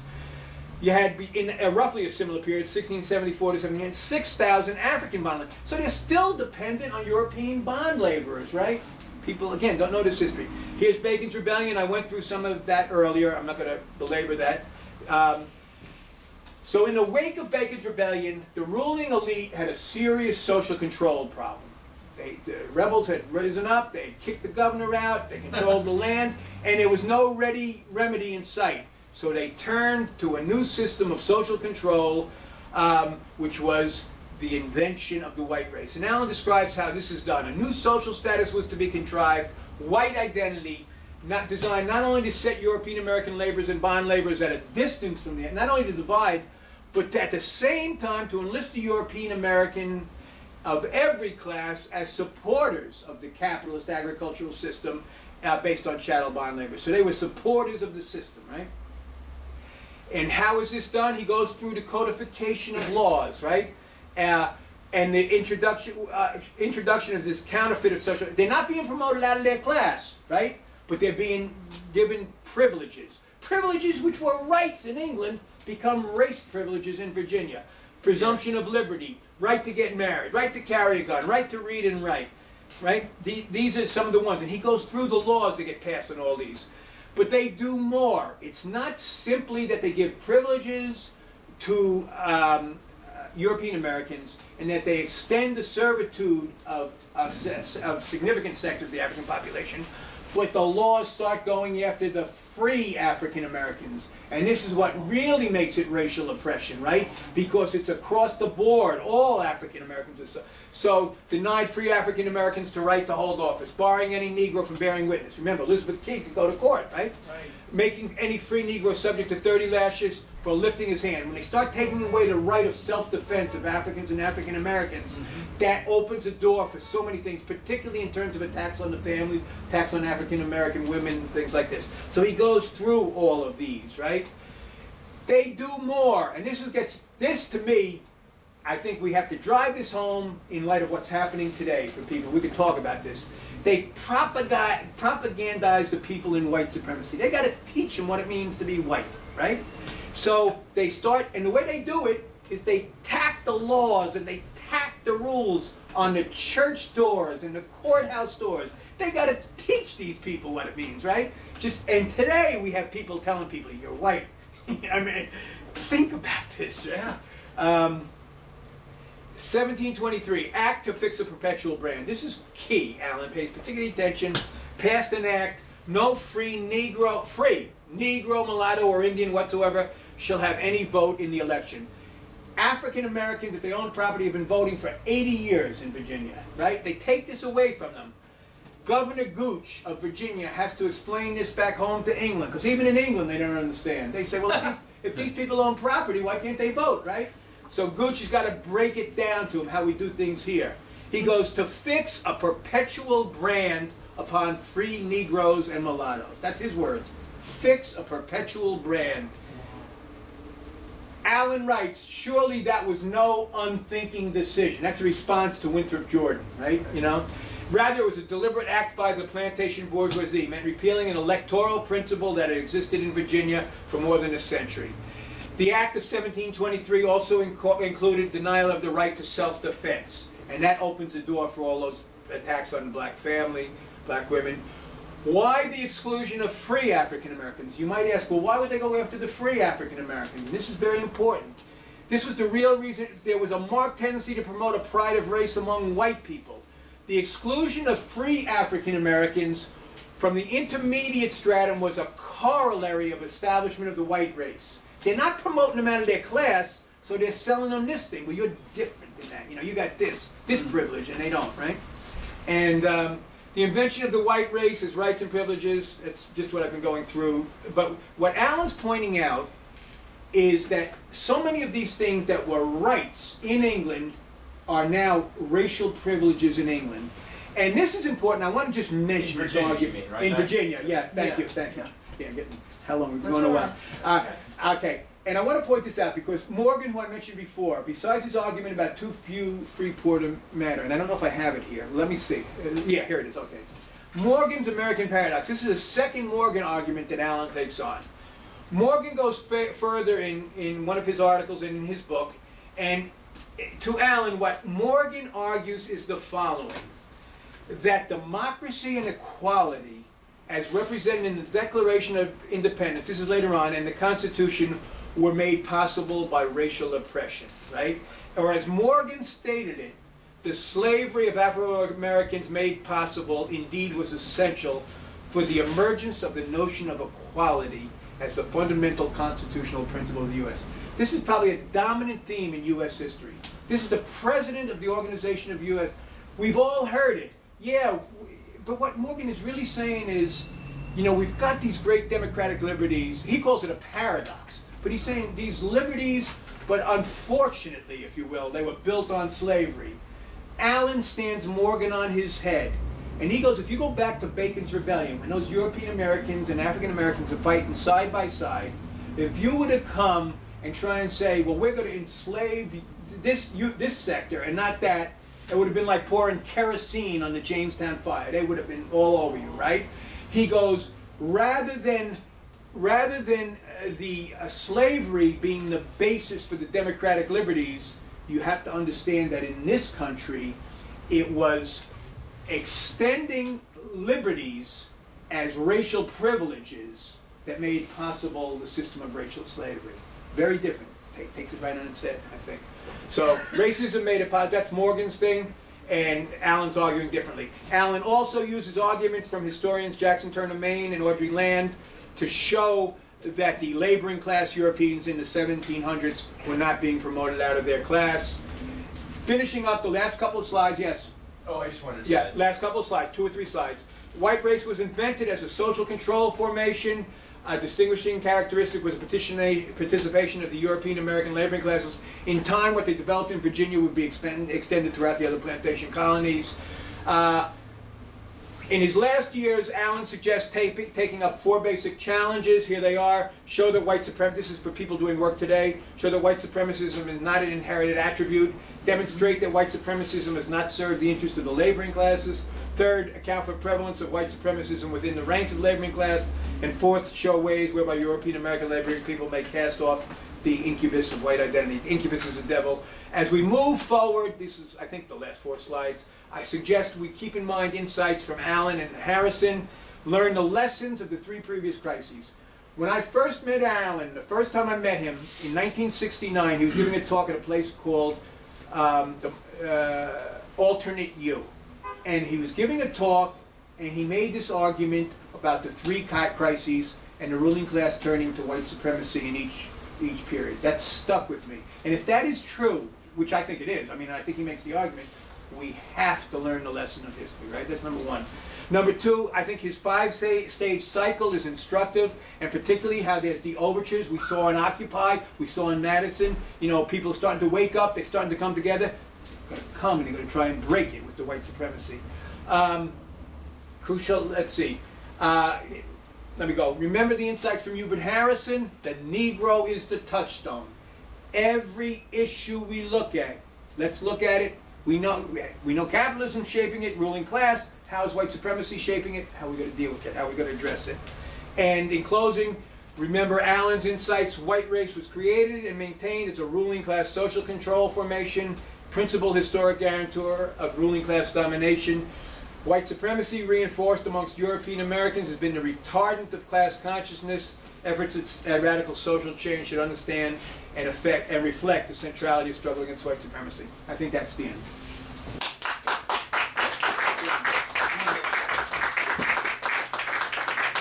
Good job. Good job. Good job. Yes. I get uh, many questions. I'm going to keep it to two. One is, would you like a, a, a bottle of water or anything like that? Uh, oh, I got my coffee. You- Thanks. you're okay. Uh, yeah, yeah. I, I need the coffee. I was, I, I almost fell asleep. bottle Oh, of beer. that's Galano. Maybe that was a more substantial, a less important question besides taking care of your voice. Uh, and that is, you know, I wanted to know, ask if you could concrete. I mean, first, thanks for that. Sure. It's awesome. You really did get into a lot of depth. But I want to kind of Oh, yeah. see, you know, and there's a lot of interesting historical questions that I hope we can get into, and I have, you know, that others uh, open discussion and maybe after. Um, but I wanted to ask you a kind of more, I guess, a political or strategic Mhm. question, and also kind of move us into the contemporary moment, Good. which is to say, uh, I wondered if you could concretize maybe two two things very related. How so? What do you see as the actual form in which kind of appeals to white supremacism, you know, uh, or the offer of white skin privileges is taking in our present crisis, right? I mean, you know, like what is the ways in which, you know, potential insurgency is being headed off, or the ruling, you know, the, the social control formation of white supremacy supremacy is being mobilized today. I because I guess my sense of it, I guess the subtext would be, it's not necessarily explicitly white, right? Or it's not necessarily say like, be white, right? So I wonder what are the what are the codes and the ways that you see in our current moment, or even in re- more recent history, even like from the 70s to today, you see the white supremacism being mobilized. And then the flip side of the question would be, what does it mean concretely uh, to repudiate white supremacy or white skin privileges? You, you mentioned at one point that it's Yeah. not enough to just like Yeah, say, you know, uh, question. I'm not white, you know, even though that's, That's a like, good uh, question, You know, and, and, and I guess the, the subtext of that one, I'd also like to hear you speak to how so Allen's understanding of white skin privilege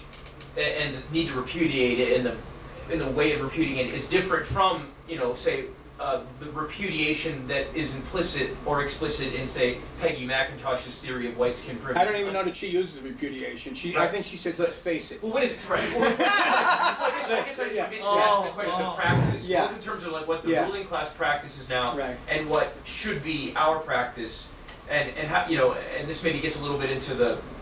What did you call them? The, the artful dodges and this sort of thing, and how to how to think about this practically. I mean, you talked about maybe the post office is one concrete context. I wonder, I mean, there may be others, but that, that's my main question. All right. Mm. I'd like to go through them. Keep them. We'll, we'll start with this right here. Yeah. Keep them in mind. I'm going to start going, and when I don't get to one or two of them, just remind me, and we'll go. Okay. Let me start from the post office um, because uh, because I work. I come out of a 4,000 worker facility in Jersey City, and we did very good work um, for many years there um, at all, all levels in our union amongst working people. And Jersey City is polarized. Jersey City, Bayonne, a little bit like Boston, I think, right? You know, and, and we're, we're not the only cities. Jersey City, Boston, York, you know, all over the country. Yeah. And um, so we were dealing with that context. And at a certain point, when we got control of our local, our branch of the union at this big 4,000 worker facility, we started addressing issues. And rather than a single spark can start a prairie fire, which was what one of the contending groups was using, we decided to take a very systematic approach. Oh. We would come out with our newsletter every week on Thursday. Why? Because every other week on Thursday was payday, right? And people, we knew we had the most people in the joint that day, right? no, I mean this is real. No, right? that's true. And, and we would do it every. We'd come out. There's no loss of issues, as I indicate in the developing conjuncture. Every issue you look at, we got. We're, we're against the bosses, but it's all shaped in a white supremacist fashion. So in the post office, we look at discipline. Black worker, white worker, same offense, double the discipline. Same thing you got outside in society. It's not hard finding issues. Everything you look at, right? Uh, we had women. We had. You're supposed to get. Um, if, if you're pregnant, you're supposed to get light duty in the postal mm. service. That's part of the mm-hmm. contractual agreement. But they started denying, and in, in, my craft, mail handlers, heavy duty work, Oh, yeah. the women were primarily African American women. They start denying them their light duty assignments. So we're protesting. We're at the congressman's office. We, every, every issue we would look at, we wind up coordinating statewide anti-apartheid. We bring it beyond the confines of the place. We, and and it, by doing this on a regular basis, on a regular basis, um, another thing, and this gets more more direct to repudiation and what you're talking about, in a in a pay location, in a work area. Say you got 16 people working in a work area, and it's going to be two hours overtime. People want that overtime money, you know, because their wages are never enough. But Right. they, they're given the OT boss's favorites, you know, and it's a very racist pattern, right? Yes, That's yes. easily detected in there. So we get our people in the pay locations to come together. We're not standing for this anymore. You're gonna keep doing that? Gee, that truck's not getting out tonight, you know? No, I mean, that's Yeah, what goes on. And you can do it. And when you do that, of course, you stand up, some people stand to lose their overtime to equalize it, but this is the step that working people have to take. You know, you've got to show that solidarity. Allen argues, using the old wobbly slogan of an injury to one is an injury to all, solidarity forever means privileges never. Don't you, you don't accept those privileges, you challenge them, right? And we would do this in the in the post office. And for instance, um, when the anti-apartheid stuff came, and this was a workplace that initially was only 15, 20 percent maybe black and Latin because um, I, I, that's part of the postal reorganization, just like they did with the um, with the um, what I talked about after World War, after the Depression. Uh, they did the same with the Postal Service. They turned to a whiter workforce after the postal strike in 1970. They built all these bulk mail centers and moved them outside the inner cities, right? So at first our workplace wasn't wasn't so heavily black and Latin, um, but we had in this place, which was racially polarized, and some people who had just never had any kind of friendly relations. You know, some European American never any friendly relations African Americans or anything. We had three quarters, maybe 75, 80 percent of the people wearing anti-apartheid buttons for the first time in their life. Mm-hmm. I'm very convinced you know, if you're fighting a good fight and you're clear and you break this stuff down and you explain, people will fight the good fight, you know. But Allen, when he writes in, in these articles, he talks about the arguments that people, all the arguments that come up, or the basic argument, oh, it can't work, you know, what does repudiation mean? Workers know what it means to stand together. We went out on strike. You go out on strike, you risk losing that job. You got to stay together. You know, you've got. It- and why? Because it's in our interest. That's why people go out on strike. You don't go out on a humbug. You, you, you do it on legitimate thing. Now, when Allen, in terms of some more of your questions, so when Allen's writing, and I had some of these in some of the slides, he's talking about big issues oftentimes rather than microaggressions. I'm, you know, I'm not belittling microaggressions, but he's mm-hmm. talking about people coming together, mass actions, collective actions, right? So the two to one unemployment ratio, I think we should be all over that. Every place in this country, right? The the incarceration stuff, right? And pe- people Oh, yeah. jump all over that. Housing. I, I think one of the things you have to do is you have to come to know each other a little bit and stuff like this. When you're in these segregated communities and things like this, the, every issue we look at, we can be fighting over, and we have to try and build that. Now, one thing that I think Allen's work suggests, which I don't think is being done, is my impression. Um, and if it is, I think to build the movement we need, we have to get people coming together who understand and put in practice the centrality of the struggle against white supremacy. That's like, it's not like the program of some organizations. I know I have friends in these organizations, right? Where you look at their program or their platform and number eight is, oh yeah, we're against racism. You know, it's not like that, right? Central, this is it. And only by taking that approach and putting into practice can we build, I think, the organization we need. That, that's some more of what I would think. In terms of repudiation, it's a constant challenge. You know, you've got to just day in, day out. You know, what what address, what issues are we addressing? What's my practice? You know, and you, you try and do it. And, and for Allen, you know, it's a, I think it's a struggle. You know, it's a struggle every day. How do you how do you move in this direction? Yeah, yeah. Just to offer Sure. some synthesis of what I heard you say, that Sure. the emphasis I heard you say was that it wasn't precisely like target and get you know uh, white privilege, you know, get people to give up their white privilege. The, the emphasis, of what you, your answer was that, that there should be a conscious, deliberate effort among you know so-called otherwise you know white, whatever European as well uh, among all Yeah. workers to stand in solidarity with those who are experiencing the extreme attacks at the at the you know under un, under this white supremacist system. So Right. The solidarity with the those who are being attacked But at the bottom is like the main emphasis. Well, that- and the other that- thing follows That, that, that's a very important emphasis. Right. But there are going to be situations where European Americans are getting very concrete privileges, Right. Which they got to stand and say, no, we're not playing this anymore. We want fair. I gave the example of overtime. Another one, and I used this in the article which we published, right? Richard B. Moore, whose picture I showed here, who was a friend of Harrison, back in the 1930s, the Communist Party waged a campaign uh, for jobs on 125th Street in Harlem. And, and Moore points out early, he goes, well, if you wage that struggle, because black people weren't getting those jobs, right? Yeah. A lot of uh, store owners, right, and they're giving them to people of their ethnicity or whatever. He goes, Moore points out that if you're going to wage this struggle, some white workers are going to lose their jobs, right? That- That's what's going to happen, because that's how they're going to respond. You've got to be prepared to deal with that. He was accused of a nationalist deviation and basically expelled from the party, right? And then later, Abner Berry, the fellow who chaired the committee, a few years later said, yeah, no, Moore, Moore was right. You got to be ready to deal with this. You got to deal, just like workers, if you're going to go strike, if you're going to do job actions, you know, you might lose your job. I mean, we've got to have that consciousness. It, we, we can't sell false illusions that could, I mean, it's a struggle, right? Right. And, and, and, and so we've got to do that, we've got to be prepared, but that's why we have to be developing an analysis of what our class interests, you know, wh- where, where are we going with this? Just like, one more example, and I'll get right with it.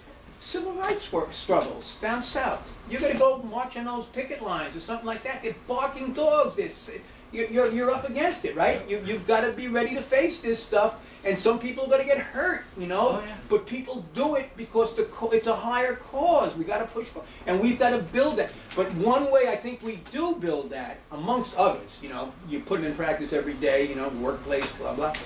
But I think part of it is the analysis of what this white race thing is, why it was set up, how it was set up, whose interest it serves. That there's nothing progressive in this.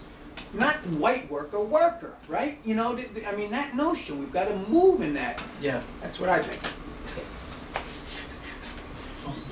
Um, we'll go you, you, you. Yeah, you know, my experience, I guess, in more recent years, uh, you know, I hear the term white privilege, and it seems like that's the point of departure of a discussion. And it seems to me, to a large degree, the question of institutionalized racism uh, sort of gets on the back burner there.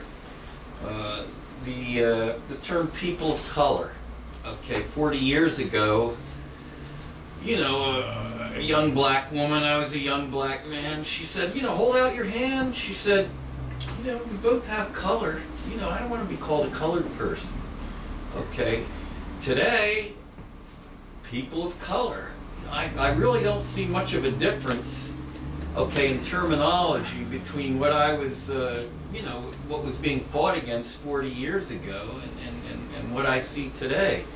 Uh, now, I could be wrong, I, I may be wrong, but it seems to me that throwing this into the lexicon is uh, more a, it's an indication, a reflection of the defeats that have been suffered by uh, oppressed nationalities in this country. Uh, more than anything. Throwing what into the? We have to go back to a lexicon of people of color. Uh, I, I just think, in my experience anyway, that the that putting to the fore the discussion of institutionalized racism uh, and making putting that more in the center of the discussion as opposed to white privilege, uh, I think would go a longer way to, to combating this uh, this system that, that exists uh, of, of racism. You know, this, this racist system essentially. Uh, so I thought I'd just throw that out there. That you know, I tend to agree with in affirmative action. You know, this was an incredible advance in the in the class struggle in this country. This was a victory of enormous significance that you know it seems to have been down now recently. In recent years, I really don't hear much of a fight or a discussion or a debate or a struggle around the need for affirmative action.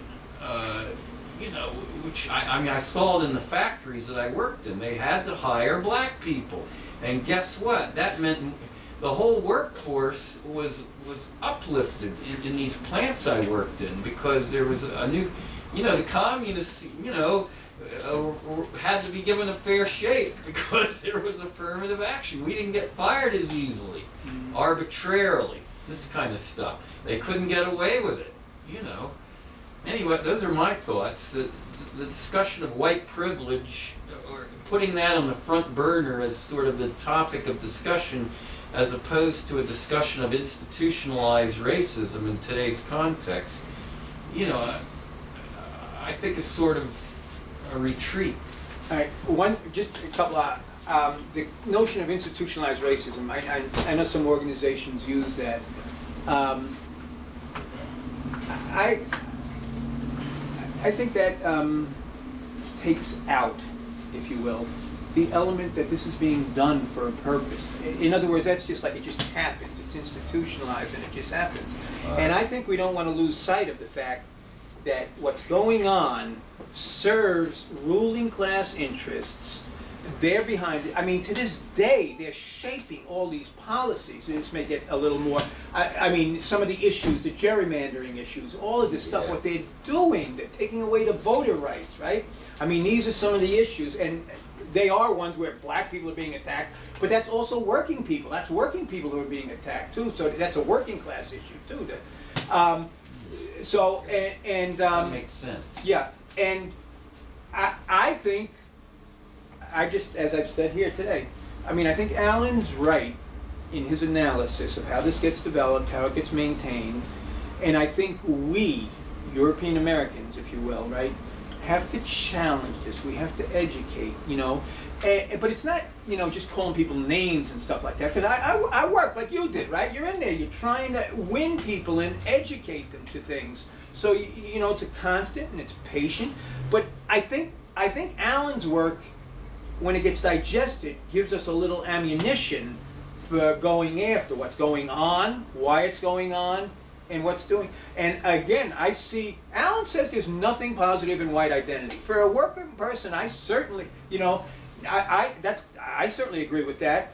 Um, regarding the people of color and some of the language and stuff like this, uh, Noel Ignatiev, I don't know if you're going to have him here and stuff, but I he- him. yeah, yeah, but But, yeah. yeah, but th- there are, um, you know, I mean, he argues, and it seems this goes on. I mean, there's a lot of people make a lot of money off this, um, you know, white privilege. he calls it the white, pri- you know, the undoing racism industry or something like that. They get all kinds of nonprofit grants and funding and stuff like this. Yeah. But that's not, a, from what I've seen. I, I'll stand corrected. It's not like it's a class approach. It's not like it's looking to address broad social issues and things like that. And that's what Allen, when you read in his pamphlets from the 60s and 70s, he's talking about affirmative action, the anti-war, you know, the issues where we want to intervene, housing, you know, fair housing. Um, we want to look at these broader issues where we're mobilizing people and getting and educating. I'm sorry, yeah. Um, I just had a few points to Sure. bring up. First of all, thank you again for the talk. And this event was recorded, and I know that Jeff went through some of the slides quickly, so hopefully the focus was good enough that you can just pause and watch it there, which will be available on the Center for Marxist Education Facebook page, um, hopefully tomorrow. Um, secondly, unfor- well, fortunately, the CME has no corporate sponsors, so we do need to pay our rent. And if you also, I'm going to pass the bucket, and if you also want to get on the email list, I'm going to pass that around as well. So John can. And my, my main question was, um, you you brought up a few other scholars or activist scholars, however you want to call them, on on this issue, and I was just curious, um, since you actually just brought up Noel Ignatiev or Ignatiev, like what would we say some of the differences, if any, methodologically between his approach and Allen's, and also you also talked that Allen wrote an extended critique of David Roediger's Wages of. Whiteness. I was just wondering if you could maybe give us a brief synopsis of that. Yeah, well, briefly, very briefly. Roediger, um, if you read his Wages of Whiteness, the original one, and you read Allen's critique, which I recommend you do, um, Allen argues that Roediger kind of disparages Marxism in that early one. He turns to, um, he defers to Jordan in his analysis, that he argues that the working class develops in the 1820s as opposed to what Allen and Harrison and Du Bois and all these people are saying, you know, about labor. And that it grows out of labor competition. Now, one of the arguments Allen makes in his book, in volume one, I didn't get into this today, but in the case of the Irish, when they, um, when they do their sea change, um, one of the arguments that was being made was the labor competition argument. But as Allen points out, the competition was more intense with German immigrants and stuff like that. There were only 10,000 blacks in New York, right?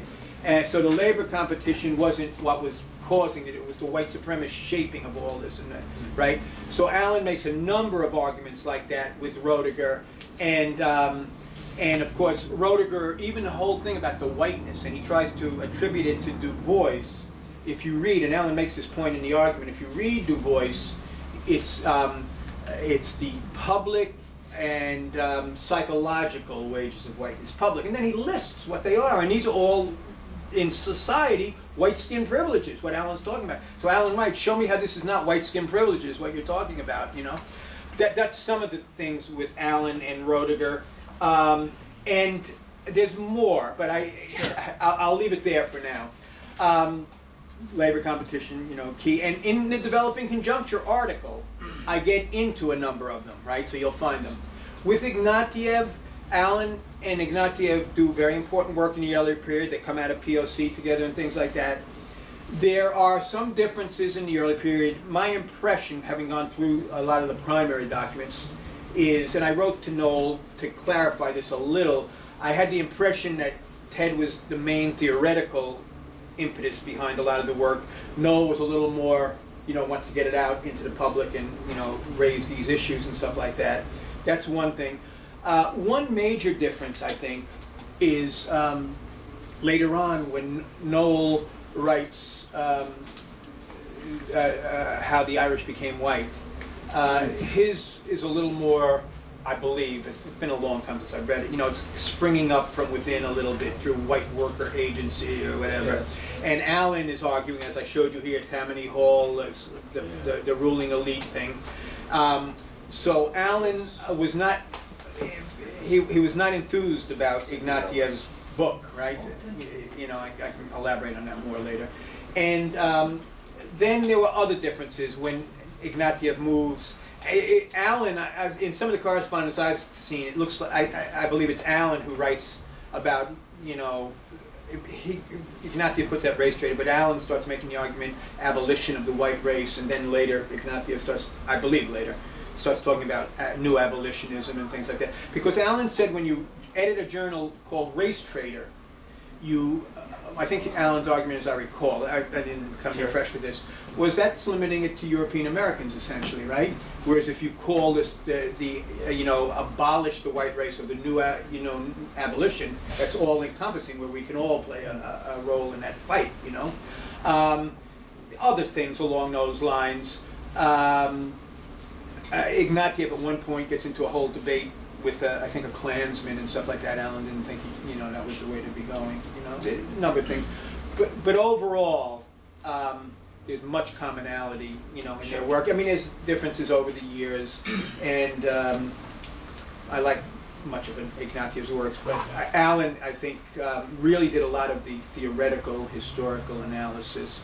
And I, if I didn't make this clear, part of my goals besides, we got the Allen out, and I'm finishing volume two of Harrison and another collection of Harrison's writings. And then the goal is to put all 700 of Harrison's writings and all of Allen's online for free, if we can, you know, uh, permanently. So I'm talking with, you know, I'm working with Columbia possibly to put Harrison's, but also maybe these other places, right? And I want to do the same with Allen's because I think we want to get this material to current and future generations. I, I, I, as I've said in what I write, I think Harrison and Allen are two of the most important thinkers on race and class in the 20th century. And because they're, when they're writing, they're functioning outside institution, you know, that's one of the reasons we don't know more about them. But I just encourage people to really read them because one thing I found with Allen, I see it in Harrison too, but with Allen, even people who throw his name around haven't really read him, you know, and I encourage people to do that, right? Really read him because he's deep, he addresses these issues. It's not an easy, it's not a quick read. That's why I did this internal study guide. But I really encourage people to read them. Uh, I, I can cite example after even blurbs I have up on my webpage from people, and I can read the blurbs, and I know they didn't read them, you know. And uh, I want to encourage people to read him. He, he's important. However, I say that, I hope some people get that message. Maybe we should do a reading group here on it. Anyway. yes, Jeff. Um, I, I wanted to comment on something and also ask a question, but I guess I just want you to clarify uh, I guess like what uh, you know uh, Allen means by uh, white privilege, and especially in a, another uh, context such as Brazil, uh, where my family is from. You mentioned how mulattoes, for instance, were used, you know, like had rights to land, had their own slaves, etc. Um, and in Brazil, it was the same thing. Brazil was actually the last country to abolish slavery, and it was actually the country that had the most slaves out of any country. Um, but yet, nonetheless, there are like still uh, a lot of. I, I can make a lot of comparisons between Brazil and the United States. I actually just came back from there. Um, you see things like police brutality. The people live in the favelas, which are you know poorest areas of Brazil, are predominantly you know black and mulatto. Um, and a lot of things that you know I hear in the United States, like the fact that you know a black person in Brazil can't walk around without being stopped, you know, by the police. Um, so you know there is like a sort of like universality, uh, you know, to uh, racial oppression. It seems, you know. Uh, but what I wanted to say about uh, white privilege, I think it also ties to what he was saying about organizing, you know, the working class and actually building solidarity. Um, and I know there are people who don't necessarily do this, but I think for the most part, when leftists are talking about white privilege, it's a way of actually, if anything, raising awareness to uh, you know comrades of different races uh, to the things that they don't that they're not necessarily able to see because of their privilege as a white person. So the fact that they're not necessarily used to the same job discrimination as a Latino person would have simply because you know their like last name doesn't have like the tilde or something like that. You know because their last name isn't Nunez, they're not going to be uh, discriminated against. So things like that, you know, uh, and building solidarity with people of color. Uh, using white privilege is a way of actually, you know, like uh, bridging that gap and actually being able to build solidarity. You can't organize with people who don't necessarily, uh, you know, understand uh, what struggles they're going through. Um, but yeah, uh, I guess that's it. I had more to say, but I completely All right, forgot just, it. just, just a couple of responses. In terms of Allen's writing, um, he only, he speaks briefly, uh, in volume two in the beginning, about Latin America, including Brazil, very briefly, right? Some of the differences in terms of how, um, what the Europeans encountered and who, which Europeans were coming. And, and he does that to make the point about how England was unique because it's exporting all these laborers. He does one whole chapter in volume two on the comparison between uh, Anglo-America, Virginia, and Maryland, and the Anglo-Caribbean. That that is very instructive. But beyond that, he doesn't go more. But he also encourages always to, for people to examine their own the, the historical particulars. You know, each one. Not he's not looking for you know a blanket formula for every place. He's, he's trying to analyze here. That's one thing. In terms of the privileges, uh, a lot of the ones that he's pointing to and addressing are things like, again, the, the, the very systematic ones, the privileges, employment policy, hiring, promotion, discipline, um, housing, healthcare. You know, I mean, again, all these issues. I think we could be getting all over.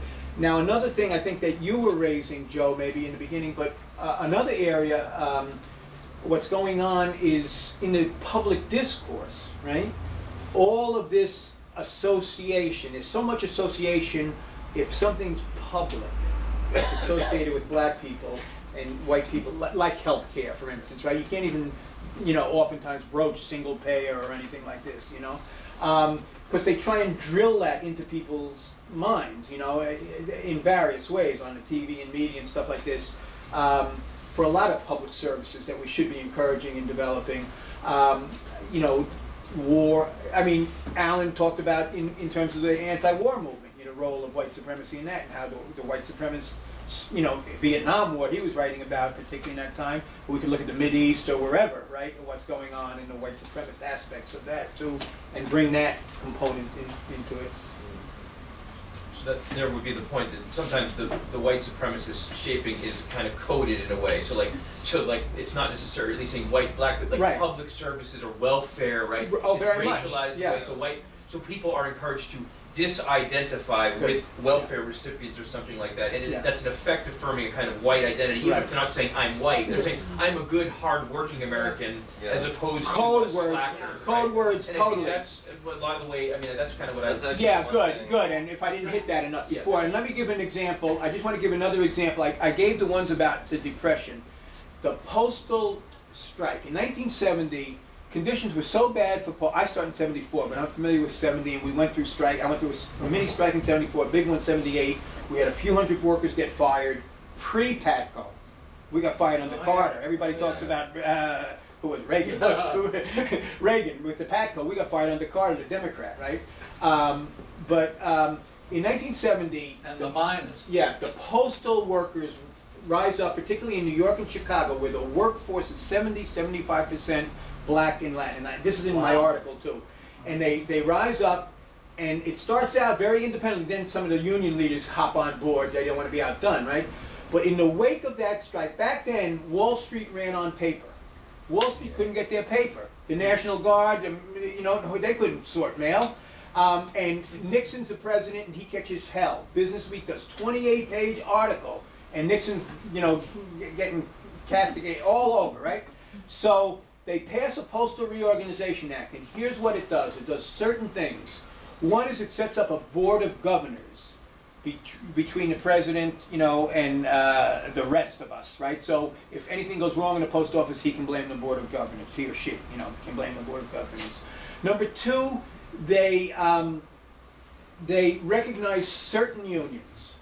The American Postal Workers, which is nominally an industrial union, the letter carriers, the rural letter carriers, and my union, the mail handlers. But the mail handlers were taken over by Laborers International Unions, one of the four big mob-controlled unions in the country. So they willingly let organized crime come into the postal unions, you know, just to keep a, a hold on that. And they do not recognize a group called the National Alliance of Postal and Federal Employees, which was set up in 1913 when Woodrow Wilson segregates federal sectors and workplaces and stuff like that. They don't recognize them. But the another major thing they did, and this is where my coming out of my own experience, is they turned to a hubs and spokes system like the airlines have. They build 21 bulk mail centers, right? And each one is named after an inner city, but it's outside the inner city. So instead of the 60, 70% you got in Chicago or New York, black and Latin workforce, whatever, 80, 75%, you get the one, I'm in Jersey City. We're only 10 miles from Harlem, 10 miles from Bed-Stuy, 10 miles from Newark, but public transportation's atrocious. They set up tours in the middle of the night, and they start out with only a 15% workforce. The one for Chicago is in Cicero or Cairo, where the Klan mm-hmm. marches, right? And you read when they're passing this legislation and making this decision exactly what you're talking about. It's the code words. When they, the, the, the, the Congress people, they're saying, well, we got to go back to the old style workers we used to have. You know, this is code word. Everybody knows what they're talking about, right? And it's a turn, a conscious turn to a wider workforce, right? And they do that. So, but these are the type things, you know, if we follow Harrison, Negro is a touchdown, you keep those antennas up, every issue, it's there. You know, I mean, in this country, it seems to me, every issue, we got to look at it, we got to expose it, we got to educate people around it, we got to fight around it, you know?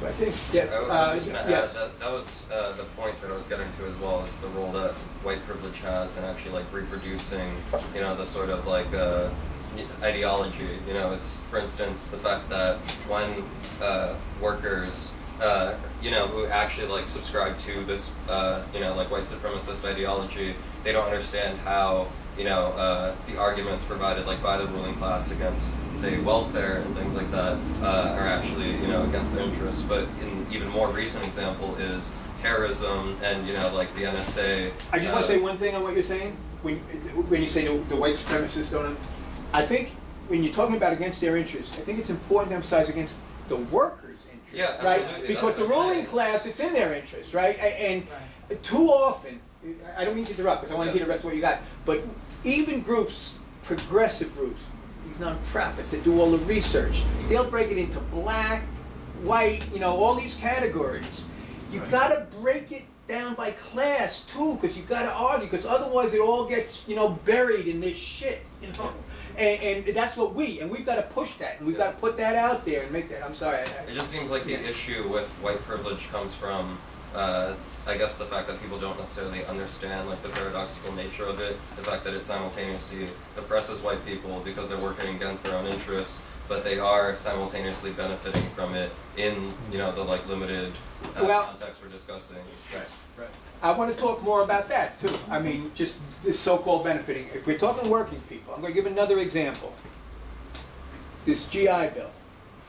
I was talking with Charles about this earlier today. My family, I'm born in the Bronx, working people as far back, you know, you know, nobody ever goes to college or anything like that. We move on the GI Bill from the Bronx to Paramus, New Jersey. It's got shopping malls, maybe you've heard of it, right? Yeah. All these shopping malls. It's essentially a lily white town, right? It wasn't, at the start of the century it wasn't, but by the time, in the mid-fifties it is. And people come here and it goes from five thousand to twenty-five thousand on a GI Bill. People, these working families think they're doing well. Well, I can get into what it's like growing up there and lots of problems and issues and things like that. But they converted celery farms and other, this is Jersey, right? All with toxic stuff all over. I went to my 50th reunion last week.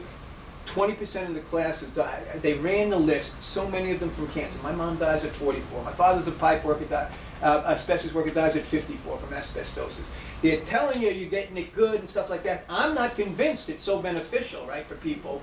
Um, and, and living in that environment, you know, I, I've lived other places where I much prefer than living there, right, you know. So, but that's a lot of educational work too, you know, that we've got to do. But I, I think we want to challenge that these notions that this stuff is beneficial. Because as I started when I spoke, you go to uh, Wikipedia, the first sentence, and I tried to correct it. I tried to get them to say, well, why don't you say some people who hold white privilege theory say that all white people benefit? Because I'm quoting Allen, right, who pioneers this stuff.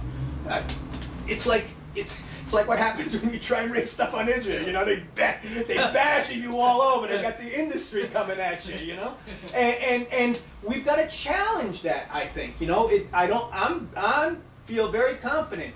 The, these privileges, I think, are a poison bait. I mean, we.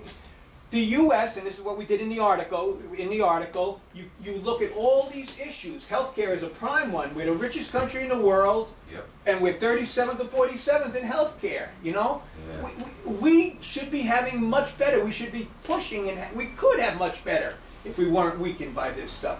So I don't think, you know, I don't think it's necessarily people think. I mean, not not that the aristocracy of labor, if you will, you know, something like that doesn't, you know. Maybe we should call white skin poison. Allen, Allen called it poison You bait, know, like, like a shot of heroin. It looks good, Yeah. you know, but it. I'm saying that I think most people who use the term white privilege actually recognize, you know, the like the I guess uh, sort of uh, you know the various implications that it has. The fact that it does oppress white people, but it is a sort of relative privilege because if we're talking about white people and black people or Latinos, they're they're privileged Uh, relative again, to other. again, if I may, Yeah. you're, you're using white people, right? And I want to encourage you, for working people, it, it's not in their interest. Mhm. For the ruling elite, white people, you know, Yeah, and I it is in their interest. that. I'm yeah. just saying, why do we have a difficulty actually talking about this concept? It seems like a lot of the time when you mention white privilege, it's like white people not really wanting to discuss, you know, uh, They don't Yeah. understand it. Yeah.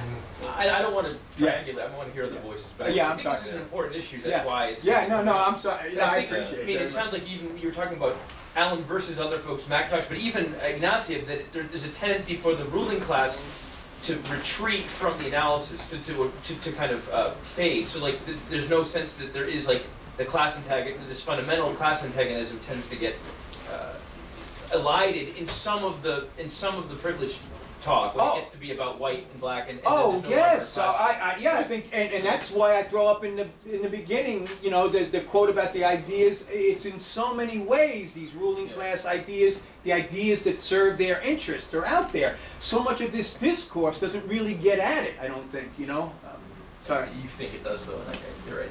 wait wait you think what Well, no Jeff Uh, seemed to think that it, it hasn't retreated as much as. wait like- maybe I'm not understanding that John, I mean, I- I think a few comments have co- have Okay. touched on this theme, and it just seems like it seems like Nunez feels like from his experience. I don't, I'm not trying to put words in your mouth, but that the people who are using the white privileged discourse, even if they're not coming out of Allen, are still aware of the, the class dynamic and the Well, the- but- the but when he was oppressive- saying Well, I was saying that poison bait Right. is actually summarizes uh, the paradoxical nature of white privilege because you're saying that at the same time it's something that attracts people, but at the same time it is a Right. poison because it does affect them. But that's what I think most people understand white privilege as. I'm saying, how do we actually improve the discussion so that when, like, what term could we use or whatever, so that when we actually want to discuss this issue of the poison bait, white privilege seems to be, uh, I guess, just I don't know. It's not the most productive term. But well, here's I what I'm trying to say to that. Here's what I'm trying to say to that. You, you keep, as you're describing this, I'm, I think I'm hearing him.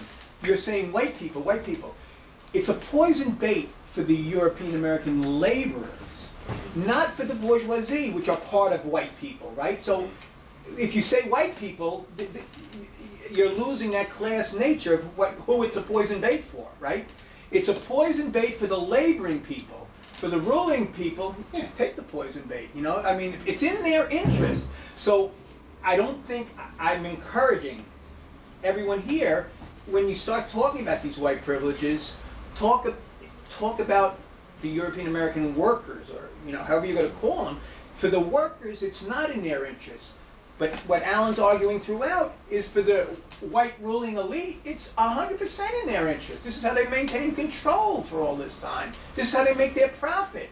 So I think just speaking about white people, that's not, you know, that's not the way to deal with that. You got to break it down a little. That's, Yeah, that's I'm not, I'm not saying that. Uh, Uh, and I'll stop, John. yeah, I, I guess when I'm saying white people, I'm just simply saying that like they're the ones that have the most resistance to this concept of white privilege, even though they should have, you know, if anything, interest in it. But yeah, One more time. What, I- what I'm saying is the, the, the working people, the Yeah. working white people should have interest. The ruling class, you know, they're- all right. There's, there's, there's one other issue I, just, I think we have to introduce here, which is that Yeah. there are strata within the United States, the, the people who aren't thoroughly proletarianized, right, but who also aren't the ruling class. So you have this kind of, I mean, the, the, lack of a better term, the, the middle class, people who mm-hmm. are, who I think, and I think there's an element of material, material privilege, I don't know what to call it, privilege or complicity, or, you know, there are people who have interests or have been given, I mean, how do we treat the middle class? I, I guess that's a, that's a bigger question I won't ask you to go into now. I'll let other people.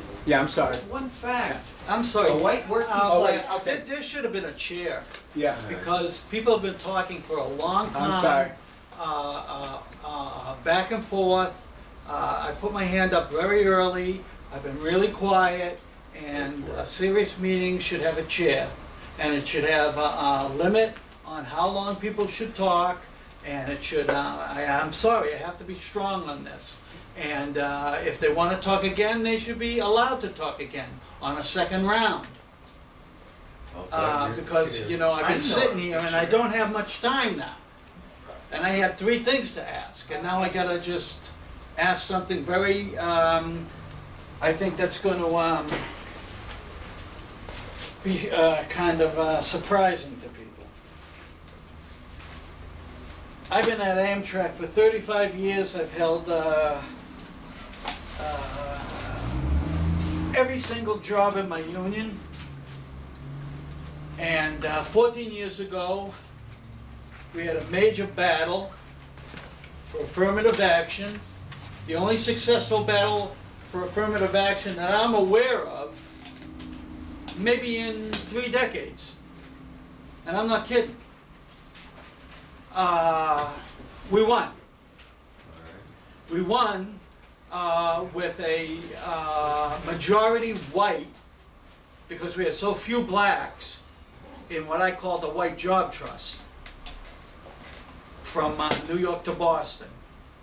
It was a white job trust, Southie, Savin Hill, all these places, and all the way back. And uh, uh, so um, those of us who were Marxists, I was in a group at that, uh, at, well, I'm in, still in the group, got together and decided to initiate with some of the black local presidents a broad committee for uh, affirmative action, but not just, but not just for equal hiring, for um, um, um, I'm sorry, I'm trying to think of the word, but um, Quotas? quotas. Thank you. We demanded quotas, and we had a little fight on that. I bet. We had a little fight on that. Because some of the white workers said, well, you know, take it easy, just let's try to bring people in easy, you know, and so forth and so on. Can't you know. But we won them over. We won them over, you know. I mean, we only had eight workers out of 35 in the thing that were that were black. Now, if you know railroad, it's very, it really doesn't have a lot of uh, people in it. It's you know, and uh, so we were really a very big committee. We had uh, huge um, articles uh, in the front page of the Phoenix. We were in the Globe. We were in everything. We were going to bring Jesse Jackson to town before they before Amtrak collapsed. We were ready to have a, a big rally in the Boston Arena. Now, I, I'm just I'm asking a question. We won. Uh, one of the most wonderful things was uh, when we started to feel our roads. Uh, I was the chairman, chairperson of the thing. Uh, instead of um, them trying to call, call me upstairs to the superintendent, uh, uh, suddenly he started to send his little men downstairs. And they said, they said, well, the superintendent would like to talk to you. I said, why don't you tell him to come down here and buy me a cup of coffee? because you start to get the adrenaline, you know. You know you're you know you're winning, you know. And so he comes down and he and he and this you know a lot went on. I'm not going to go through it all. And he said, "What do you want?" I said, "I want everything." he says, "Well, well, well, well." You know, I mean, it's normal to um, uh, uh, negotiate these things. I said, no, no, no, no, no, no, no. Not where I'm coming from, it's not normal. Because that's the old labor movement. You walked in, you said, these are our demands, otherwise we walk. You fire a person, we walk out. You know what I mean? And uh, he says, I said, so listen, I just want to tell you what's, what's being planned. I have um, a person from um, 60 Minutes, uh, Jesse Jackson's coming to town. And he said, whoa, whoa, whoa, take it easy, take it easy, you know what I mean? But, but an interesting thing happened. Um, we were able to get Amtrak to sign on uh, to um, uh, um, a commitment, and they kept it, to hire 50% uh, uh, um, um, from the neighborhoods, the oppressed neighborhoods, uh, you know what I mean? Uh, women, Asians, you know. And, um, but as time went on, the uh, company got very smart. And what they did was they found ways to dismiss all the lower level uh, supervisors. I didn't see this come. Now, because of the because uh, the oppressed nationalities, what I call the oppressed nationalities have, have no reason to trust racist white unions in general. Um, all workers, all people look towards power. When they feel powerless, they go towards other power. It's like when the middle class, upper middle class goes. They'll, they'll go with the working class if the working class shows power, you know. And what happened was, um, cleverly, um, they hired uh, five new, um, well put to, well trained uh, supervisors who immediately would bring these young people in and say, "You got to understand something.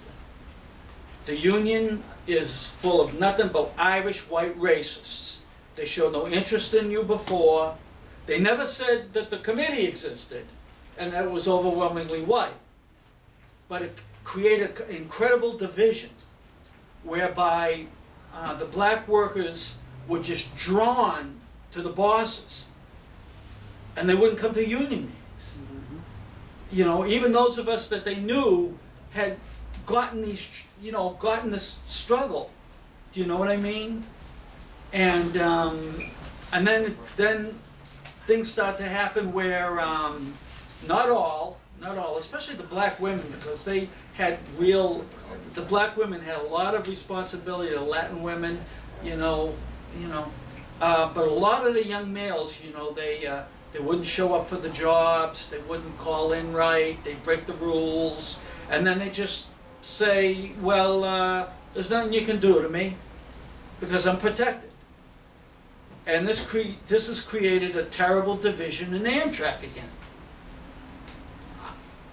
I brought this up to Tim Weiss, you know, and I said, Tim, can you give me an idea about what- uh, any ideas you might might have, you know? And I'm bringing it up to this body, you know, because this is a real, real problem. I mean, when you don't, when a train has to go out legally and be safe, if it doesn't have a full crew, people can die. You know what I mean? And when somebody just says, well, I'm covered by these certain rules that I helped to get on, uh, um, there are a lot of blacks that are very angry about it. But um, it's just created this this terrible division. And I, I'll just throw out, I, I, I don't, honestly, I don't know what to do. I, I will just offer a few quick thoughts. I mean, Thank you, thank you. First, I mean, talk. You know, talk to your coworkers. I mean, you you I do, they that. tell Yeah, me, but I mean, you may- brought this on yourself. Well, well, I, I'm talking about maybe, maybe, maybe get together a group, you know, over, over lunch, over call. I mean, you know, start talking on a regular basis. Another thing, I don't know if you do this or not, but I told you when we worked in the post office, we'd come out with our bulletins. I, I, I, we found was frequency and regularity, right? Every Thursday, people knew it. After a while, they came to look for it, for giving some direction and guidance. And if you have a, a newsletter, whatever, if payday's every two weeks or whatever it is, whenever you get paid, if, if you even can come out with that, one side of a paper, two sides, however you do it, you can start addressing some of these issues in a, in a very, you know, this issue has come up, what do people think? You know, it could be. Oh, yeah, yeah, yeah. But, but open, engage, these are your co-workers, you know, and discuss with them and stuff like this. But You're obviously concerned about it, you think it's a, it's an important issue that people should be concerned about. Well, it's, it's just been such a terrible But- white but- job trust for so Right, many decades. We, so you gotta have that discussion. Yeah. With Your co-workers, right, you know, Yeah. and, and, and the commu- communication. But just in- in response to that, uh, do we have more questions? Jeff, and we, yeah, and are, are we good to- on your, what you were I, saying? I, I, I actually understand what you're saying now. Um, Oh, okay. you're, you're essentially saying that working white people don't necessarily benefit from Yes. this. Oh, yeah. Yeah. no, no, I, I completely understand we got that. That's what I'm saying. That's what I'm saying. Thanks, It's okay. recorded yeah. for all Listen, eternity. that wasn't necessarily my question though. I, I was actually responding to what you were saying about the problem with this term white privilege. Because it is a commonly used term. My question is more, why don't working white people, uh, why aren't they willing to discuss white privilege? Right. Well, well, I mean, there's not many people out there ra- raising it amongst them. A lot of the, the white privilege discourse, it seems to me, is carried on in universities and some Yeah. of these circles, and you know, Yeah. people working in these agencies. You know, that's that's where, where the industry is, if you will. Um, what, what my conscious decision, and I know this was originally work people did in the 60s and 70s, this series. I mean, I was a working class person, right? Youth, right? Came up and I got to go to college. And after I go to college, it's a conscious decision to go into the workplace. 33 years, right? Because that's where I think we've got to do work, right? And so, why don't they? Well, maybe there's not enough people doing work there amongst them, you know, and uh, that, that, that's what's got to be done, you know. I, I, if you people are serious, which I think people here are, you know, you're serious about change, you got to address what the issues are. I think there's some things pointed out. I, I Oh, think yeah. I think the three crises is crucial. If Allen's right about that, let's learn that lesson. If white supremacy is so central, let's keep our antennas up. Every issue, right? It's not hard to find. Um, if the working class, if we believe the working class, it's not in their interest. The working class has got to be a pr- uh, primary force for change. Let's get amongst them. You know, I mean, it's things like that. Uh, some thoughts. Yeah. Yes. I'm sorry. No, right here. In the back. Yeah. I'm sorry. Yeah, I I agree very much with what you say about that. We have to address the race issue under the umbrella of class, and and that in that those terms we are going to be able to see that actually white privilege doesn't benefit the working whites, the working class, at all. And we can see the examples, even the bargaining in the United States have uh, changed because we don't, in the labor movement, we don't want to help uh, legalize uh, undocumented workers. And they have been used uh, as low wage workers, even within the United States. We can even see that in Switzerland. People vote against raising the minimum wage of $22 the hour because you know, still the white uh, working class believe that they can have social mobility even though a lot of people coming from Europe, I mean from Africa and in, in Latin America has changed the bargaining uh, rules on um, uh, those countries in Europe. But I'm also interested in what you have to say about the census. Um, Yes. Because I worked in the 2010 census, Right. Came here from New York to complete the uh, Spanish uh, interviews of the formulas that were not filled out by people. And then I was encouraged to uh, identify as white, even though I am a descendant of a Spanish Jewish, my the mother uh, indigenous, and I grew up in a black family. So, so I don't see myself as white. Right. But then when I'm going to the field, I see on Dorchester that many other people, uh, Portuguese uh, and Latin American descended, they want to identify themselves, themselves as white because they have indigenous, uh, you know, features. Because they uh, somehow they will feel that they were you know, going to get something Right. out of this uh, new demarcation. Yeah, I, I want to speak about that. We were talking about that earlier with Mirna, uh, who's from Venezuela, and her daughter, and uh, some of us were talking before. And um, what's going on with this census, I think, is very important. This is another issue I think we all should pay attention to because what they're trying to do with the Hispanic category Yeah. the Hispanic category alone is allowed to identify their race. One of the major reasons behind this, in Allen's article, it's online, it's, it's 15 years old now, but it's very good. One of the major reasons why they're doing this is because they want to maintain a white majority, or at least a plurality, as far into the future as they can, so they have the guise of democracy in what they're doing. Now, what's going on with the census, as I said, from 2000 to 2010, the percentage of uh, Hispanic, the category that they're using, went up 3%. It's going up even more, and they even changed the wording to encourage people more to identify as race. Uh, there is all this pressure in this country, for the reasons you were just talking about, for people to say, gee, I want to be white, I want to be black. You know, that's what that's the pressure, that's what they're counting on, right? But I think I think that Latinos are well positioned to take a very prominent role in challenging this white identity. One, one of the points that Allen makes about Hubert Harrison, that Winston James makes, and one of the people I cite in my book, is because these early Afro-Caribbeans are coming, I'm, I'm coming back to your question, they're coming from a place where the white race, it's not the same definition, they're coming, they, when they come to the U.S., when Harrison comes, he's the father of Harlem. He says, "I'm not playing this, you know, this shit." He, he challenges it. Garvey challenges it. McKay. They come from where they're coming from, and they confront this. They say, "We're we're not going to take this, right?" And they challenge. Latinos are in the same position, right? Where, where you're in a position to challenge, and I think one, I think one of the ways. I, I'm not trying to dictate. I mean, I think people need this discussion amongst themselves, right? But a, a lot of people, they, you know, you, first off, if somebody's Afro-Venezuelan or whatever, it's important to identify that, you know, because of discrimination. But I don't think you want to encourage people to identify as white. Why, why not, you know, eh, I'm Venezuelan, I'm Puerto Rican, what, you know, whatever, and, and that's my identity, and I don't have to go to that white thing.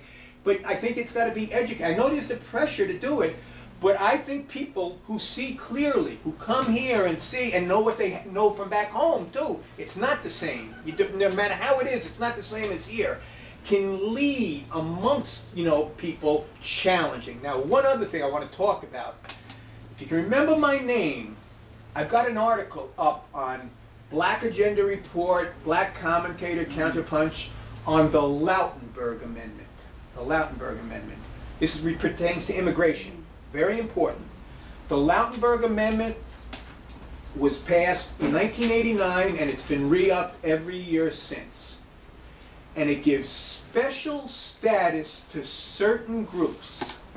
If you're a member of that group, you can come to Kennedy Airport in New York without a paper in your pocket. You can be a felon in your home country. You're treated as a quote refugee, and you are given all pass to citizenship, public funding, and everything. Whereas all these people from Latin America coming up, the youth coming up, illegal immigrant, it rolls off the tongue. Everybody's called illegal immigrant. And, and the young kid in Harlem gets busted with two ounces of pot, and they're denied public housing for the rest of their life, however it works. It's totally discriminatory treatment. The Lautenberg Amendment. You got to read because what I think should be done with the Lautenberg Amendment is you people got to expose the inconsistency or argue, well, if it's good for some, we want it good for all, right? I mean, you know, wherever you're going to take that. But it's very important to do that. And Lautenberg did that. It gets up every year, you know. And- Cubans? no, no, no. This is for Jews from the former Soviet Union. That's who it's for, right? And it's and it ties into everything that's going on in the Mid East and everything like that. Very important. That's the main group. There's other groups. Cambodian Christians, I think, you know, pick, some obscure group. It's always done like this. But Lautenberg was the head of a prominent Jewish organization before he, was my set, you know, from uh, Jersey. You want to look at this because it gets re-upped every year. It gets re-upped every year, and much work could be done for those who are doing work around immigration in relation to this. And it got, yeah. I'm gonna, I'm gonna comment what he said. I think it's very important, Jeff. Yeah. And it's related to our conversation. Hispanic, particularly the new, uh, the wave of immigrants from Latin America.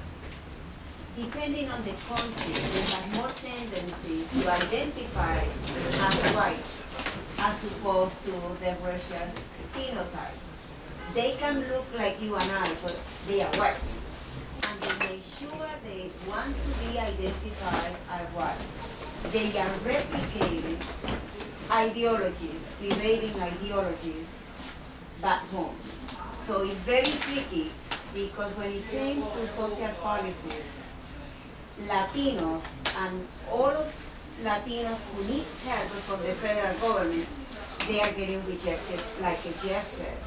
It's very tricky. The same happened with Brazilians uh, that if you are a light or what, you know, it's very dangerous. So I think it's like we should be an edu uh, education about that white is an identity. It has nothing to do with nationality. In regard to your question, your comments, I think you are more into try to read the Americanization of Latin America. And it will give you an, an idea about Anglo-imperialism, the English imperialism, when the United States became an empire, when England passed empire to, uh, to the United States, how these policies after World War II were implemented in Latin America to whiten the Latin American society. So it, it has a relationship with racial um, uh, white privilege. Yeah. It, I don't know if anyone else has a question. Just one thing. Okay, you get these forms, you check off uh, black, white, Latino, whatever.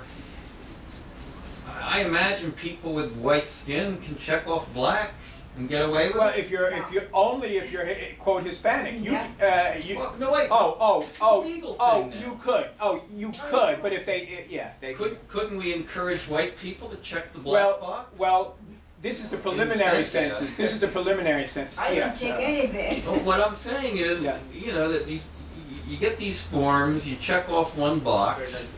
Yeah. I don't see. Well, I, I you think can legally get away These are not the official. Yeah, I don't know. These are not the official census. I think this is the, the preliminary surveys they're doing. Then why? Well, whenever you get a preliminary survey or whatever, just check off the black box. You know, it happens You know. to me at my General, at all hospital. Whenever I have, a, you know, I never check I, um, uh, ethnicity, but immediately they check me as white. Mm-hmm. And even though, you know, Mass General, you know, at all of the hospital, even though I haven't checked, they make sure that they check me as white. Yeah. And even though if I complain, I am not white, you know, they check me as white. humanity had its origins in Africa. So, you know, from that standpoint, I could check black. Anyway, the other question, not a question so much is when uh, 40 years ago, a working class white person with white skin could go to college for free, could go to the universities, or many of them. And if, if it wasn't free, you know, let's say it was 500 bucks a year, you'd get a $500 scholarship uh, because your family didn't make a lot of money. Okay, so that's practically free. If you look today with the uh, the offensive against affirmative action and so forth, the working class kid who's poor, who, who you know has light skin, okay, got to pay a hundred grand. You know, I mean, it, it's ridiculous. It- it- it's a clear example of how the pushback against uh, oppressed nationalities and, and the victories that have been won by the rulers has directly oppressed the entire working class, regardless of what race or nationality you want to talk about. It's just, it's totally different today, and I've seen this in my lifetime. That uh, you know, when Johnson was was promoting this war on poverty and, and welfare and so forth, he constantly brought in pictures of white uh, white working class people in West Virginia and, and in Appalachia and so forth as benefiting from these social programs. And this was kind of a way he promoted it, all right? And then it got, the whole thing got turned around over the last four decades. But I, I think there's a, that's a direct example of how th- this invention of race and, and the white privilege has uh, directly oppressed uh, the entire working class in this country because you can't go to school like you used to if you were poor. I, I think, um, I mean, just to, I, I think the struggle was very heightened in the sixties, as you're describing. You know, the struggle, and there were some significant gains being made, as, as we talked earlier, you know. The, the uh, civil rights, black liberation struggle was a catalyst for many movements. Movement has been set back. I mean, we, when Allen closes Volume Two in nineteen ninety-seven, he talks about how the current climate and how people dare not even oftentimes mention working class, you know, and it's, the class struggle is one side banging or something like that. But he, but how he's, he's not giving up hope, you know, because we, we, we have the examples of what was accomplished in those previous struggles and, and the gains that were made then. But, I mean, we, we're all living. How weak is the left right now, you know? Uh, When, when do we hear working class mentioned? I mean, we're here, we've mentioned it a few times here today, but you don't see it in the press or in the debates of the elect, you know, the people running for office and things like that. So we've got to build that movement, you know, which is what we're trying to do here, you know? Um, feel we've been going almost three hours. I'm sure there's more, uh, there's always more uh, conversation. I have more things I'd like to raise, but I feel like maybe we should and then people can talk uh, individually, and, and we can have you back, which we always be able to talk about. Uh, so I, more, hope we didn't. There's always more to do. Is, is that all right with people? Is, is, there, is that yeah. is that cool? Yes. Yeah. All right. So round of applause. Yeah.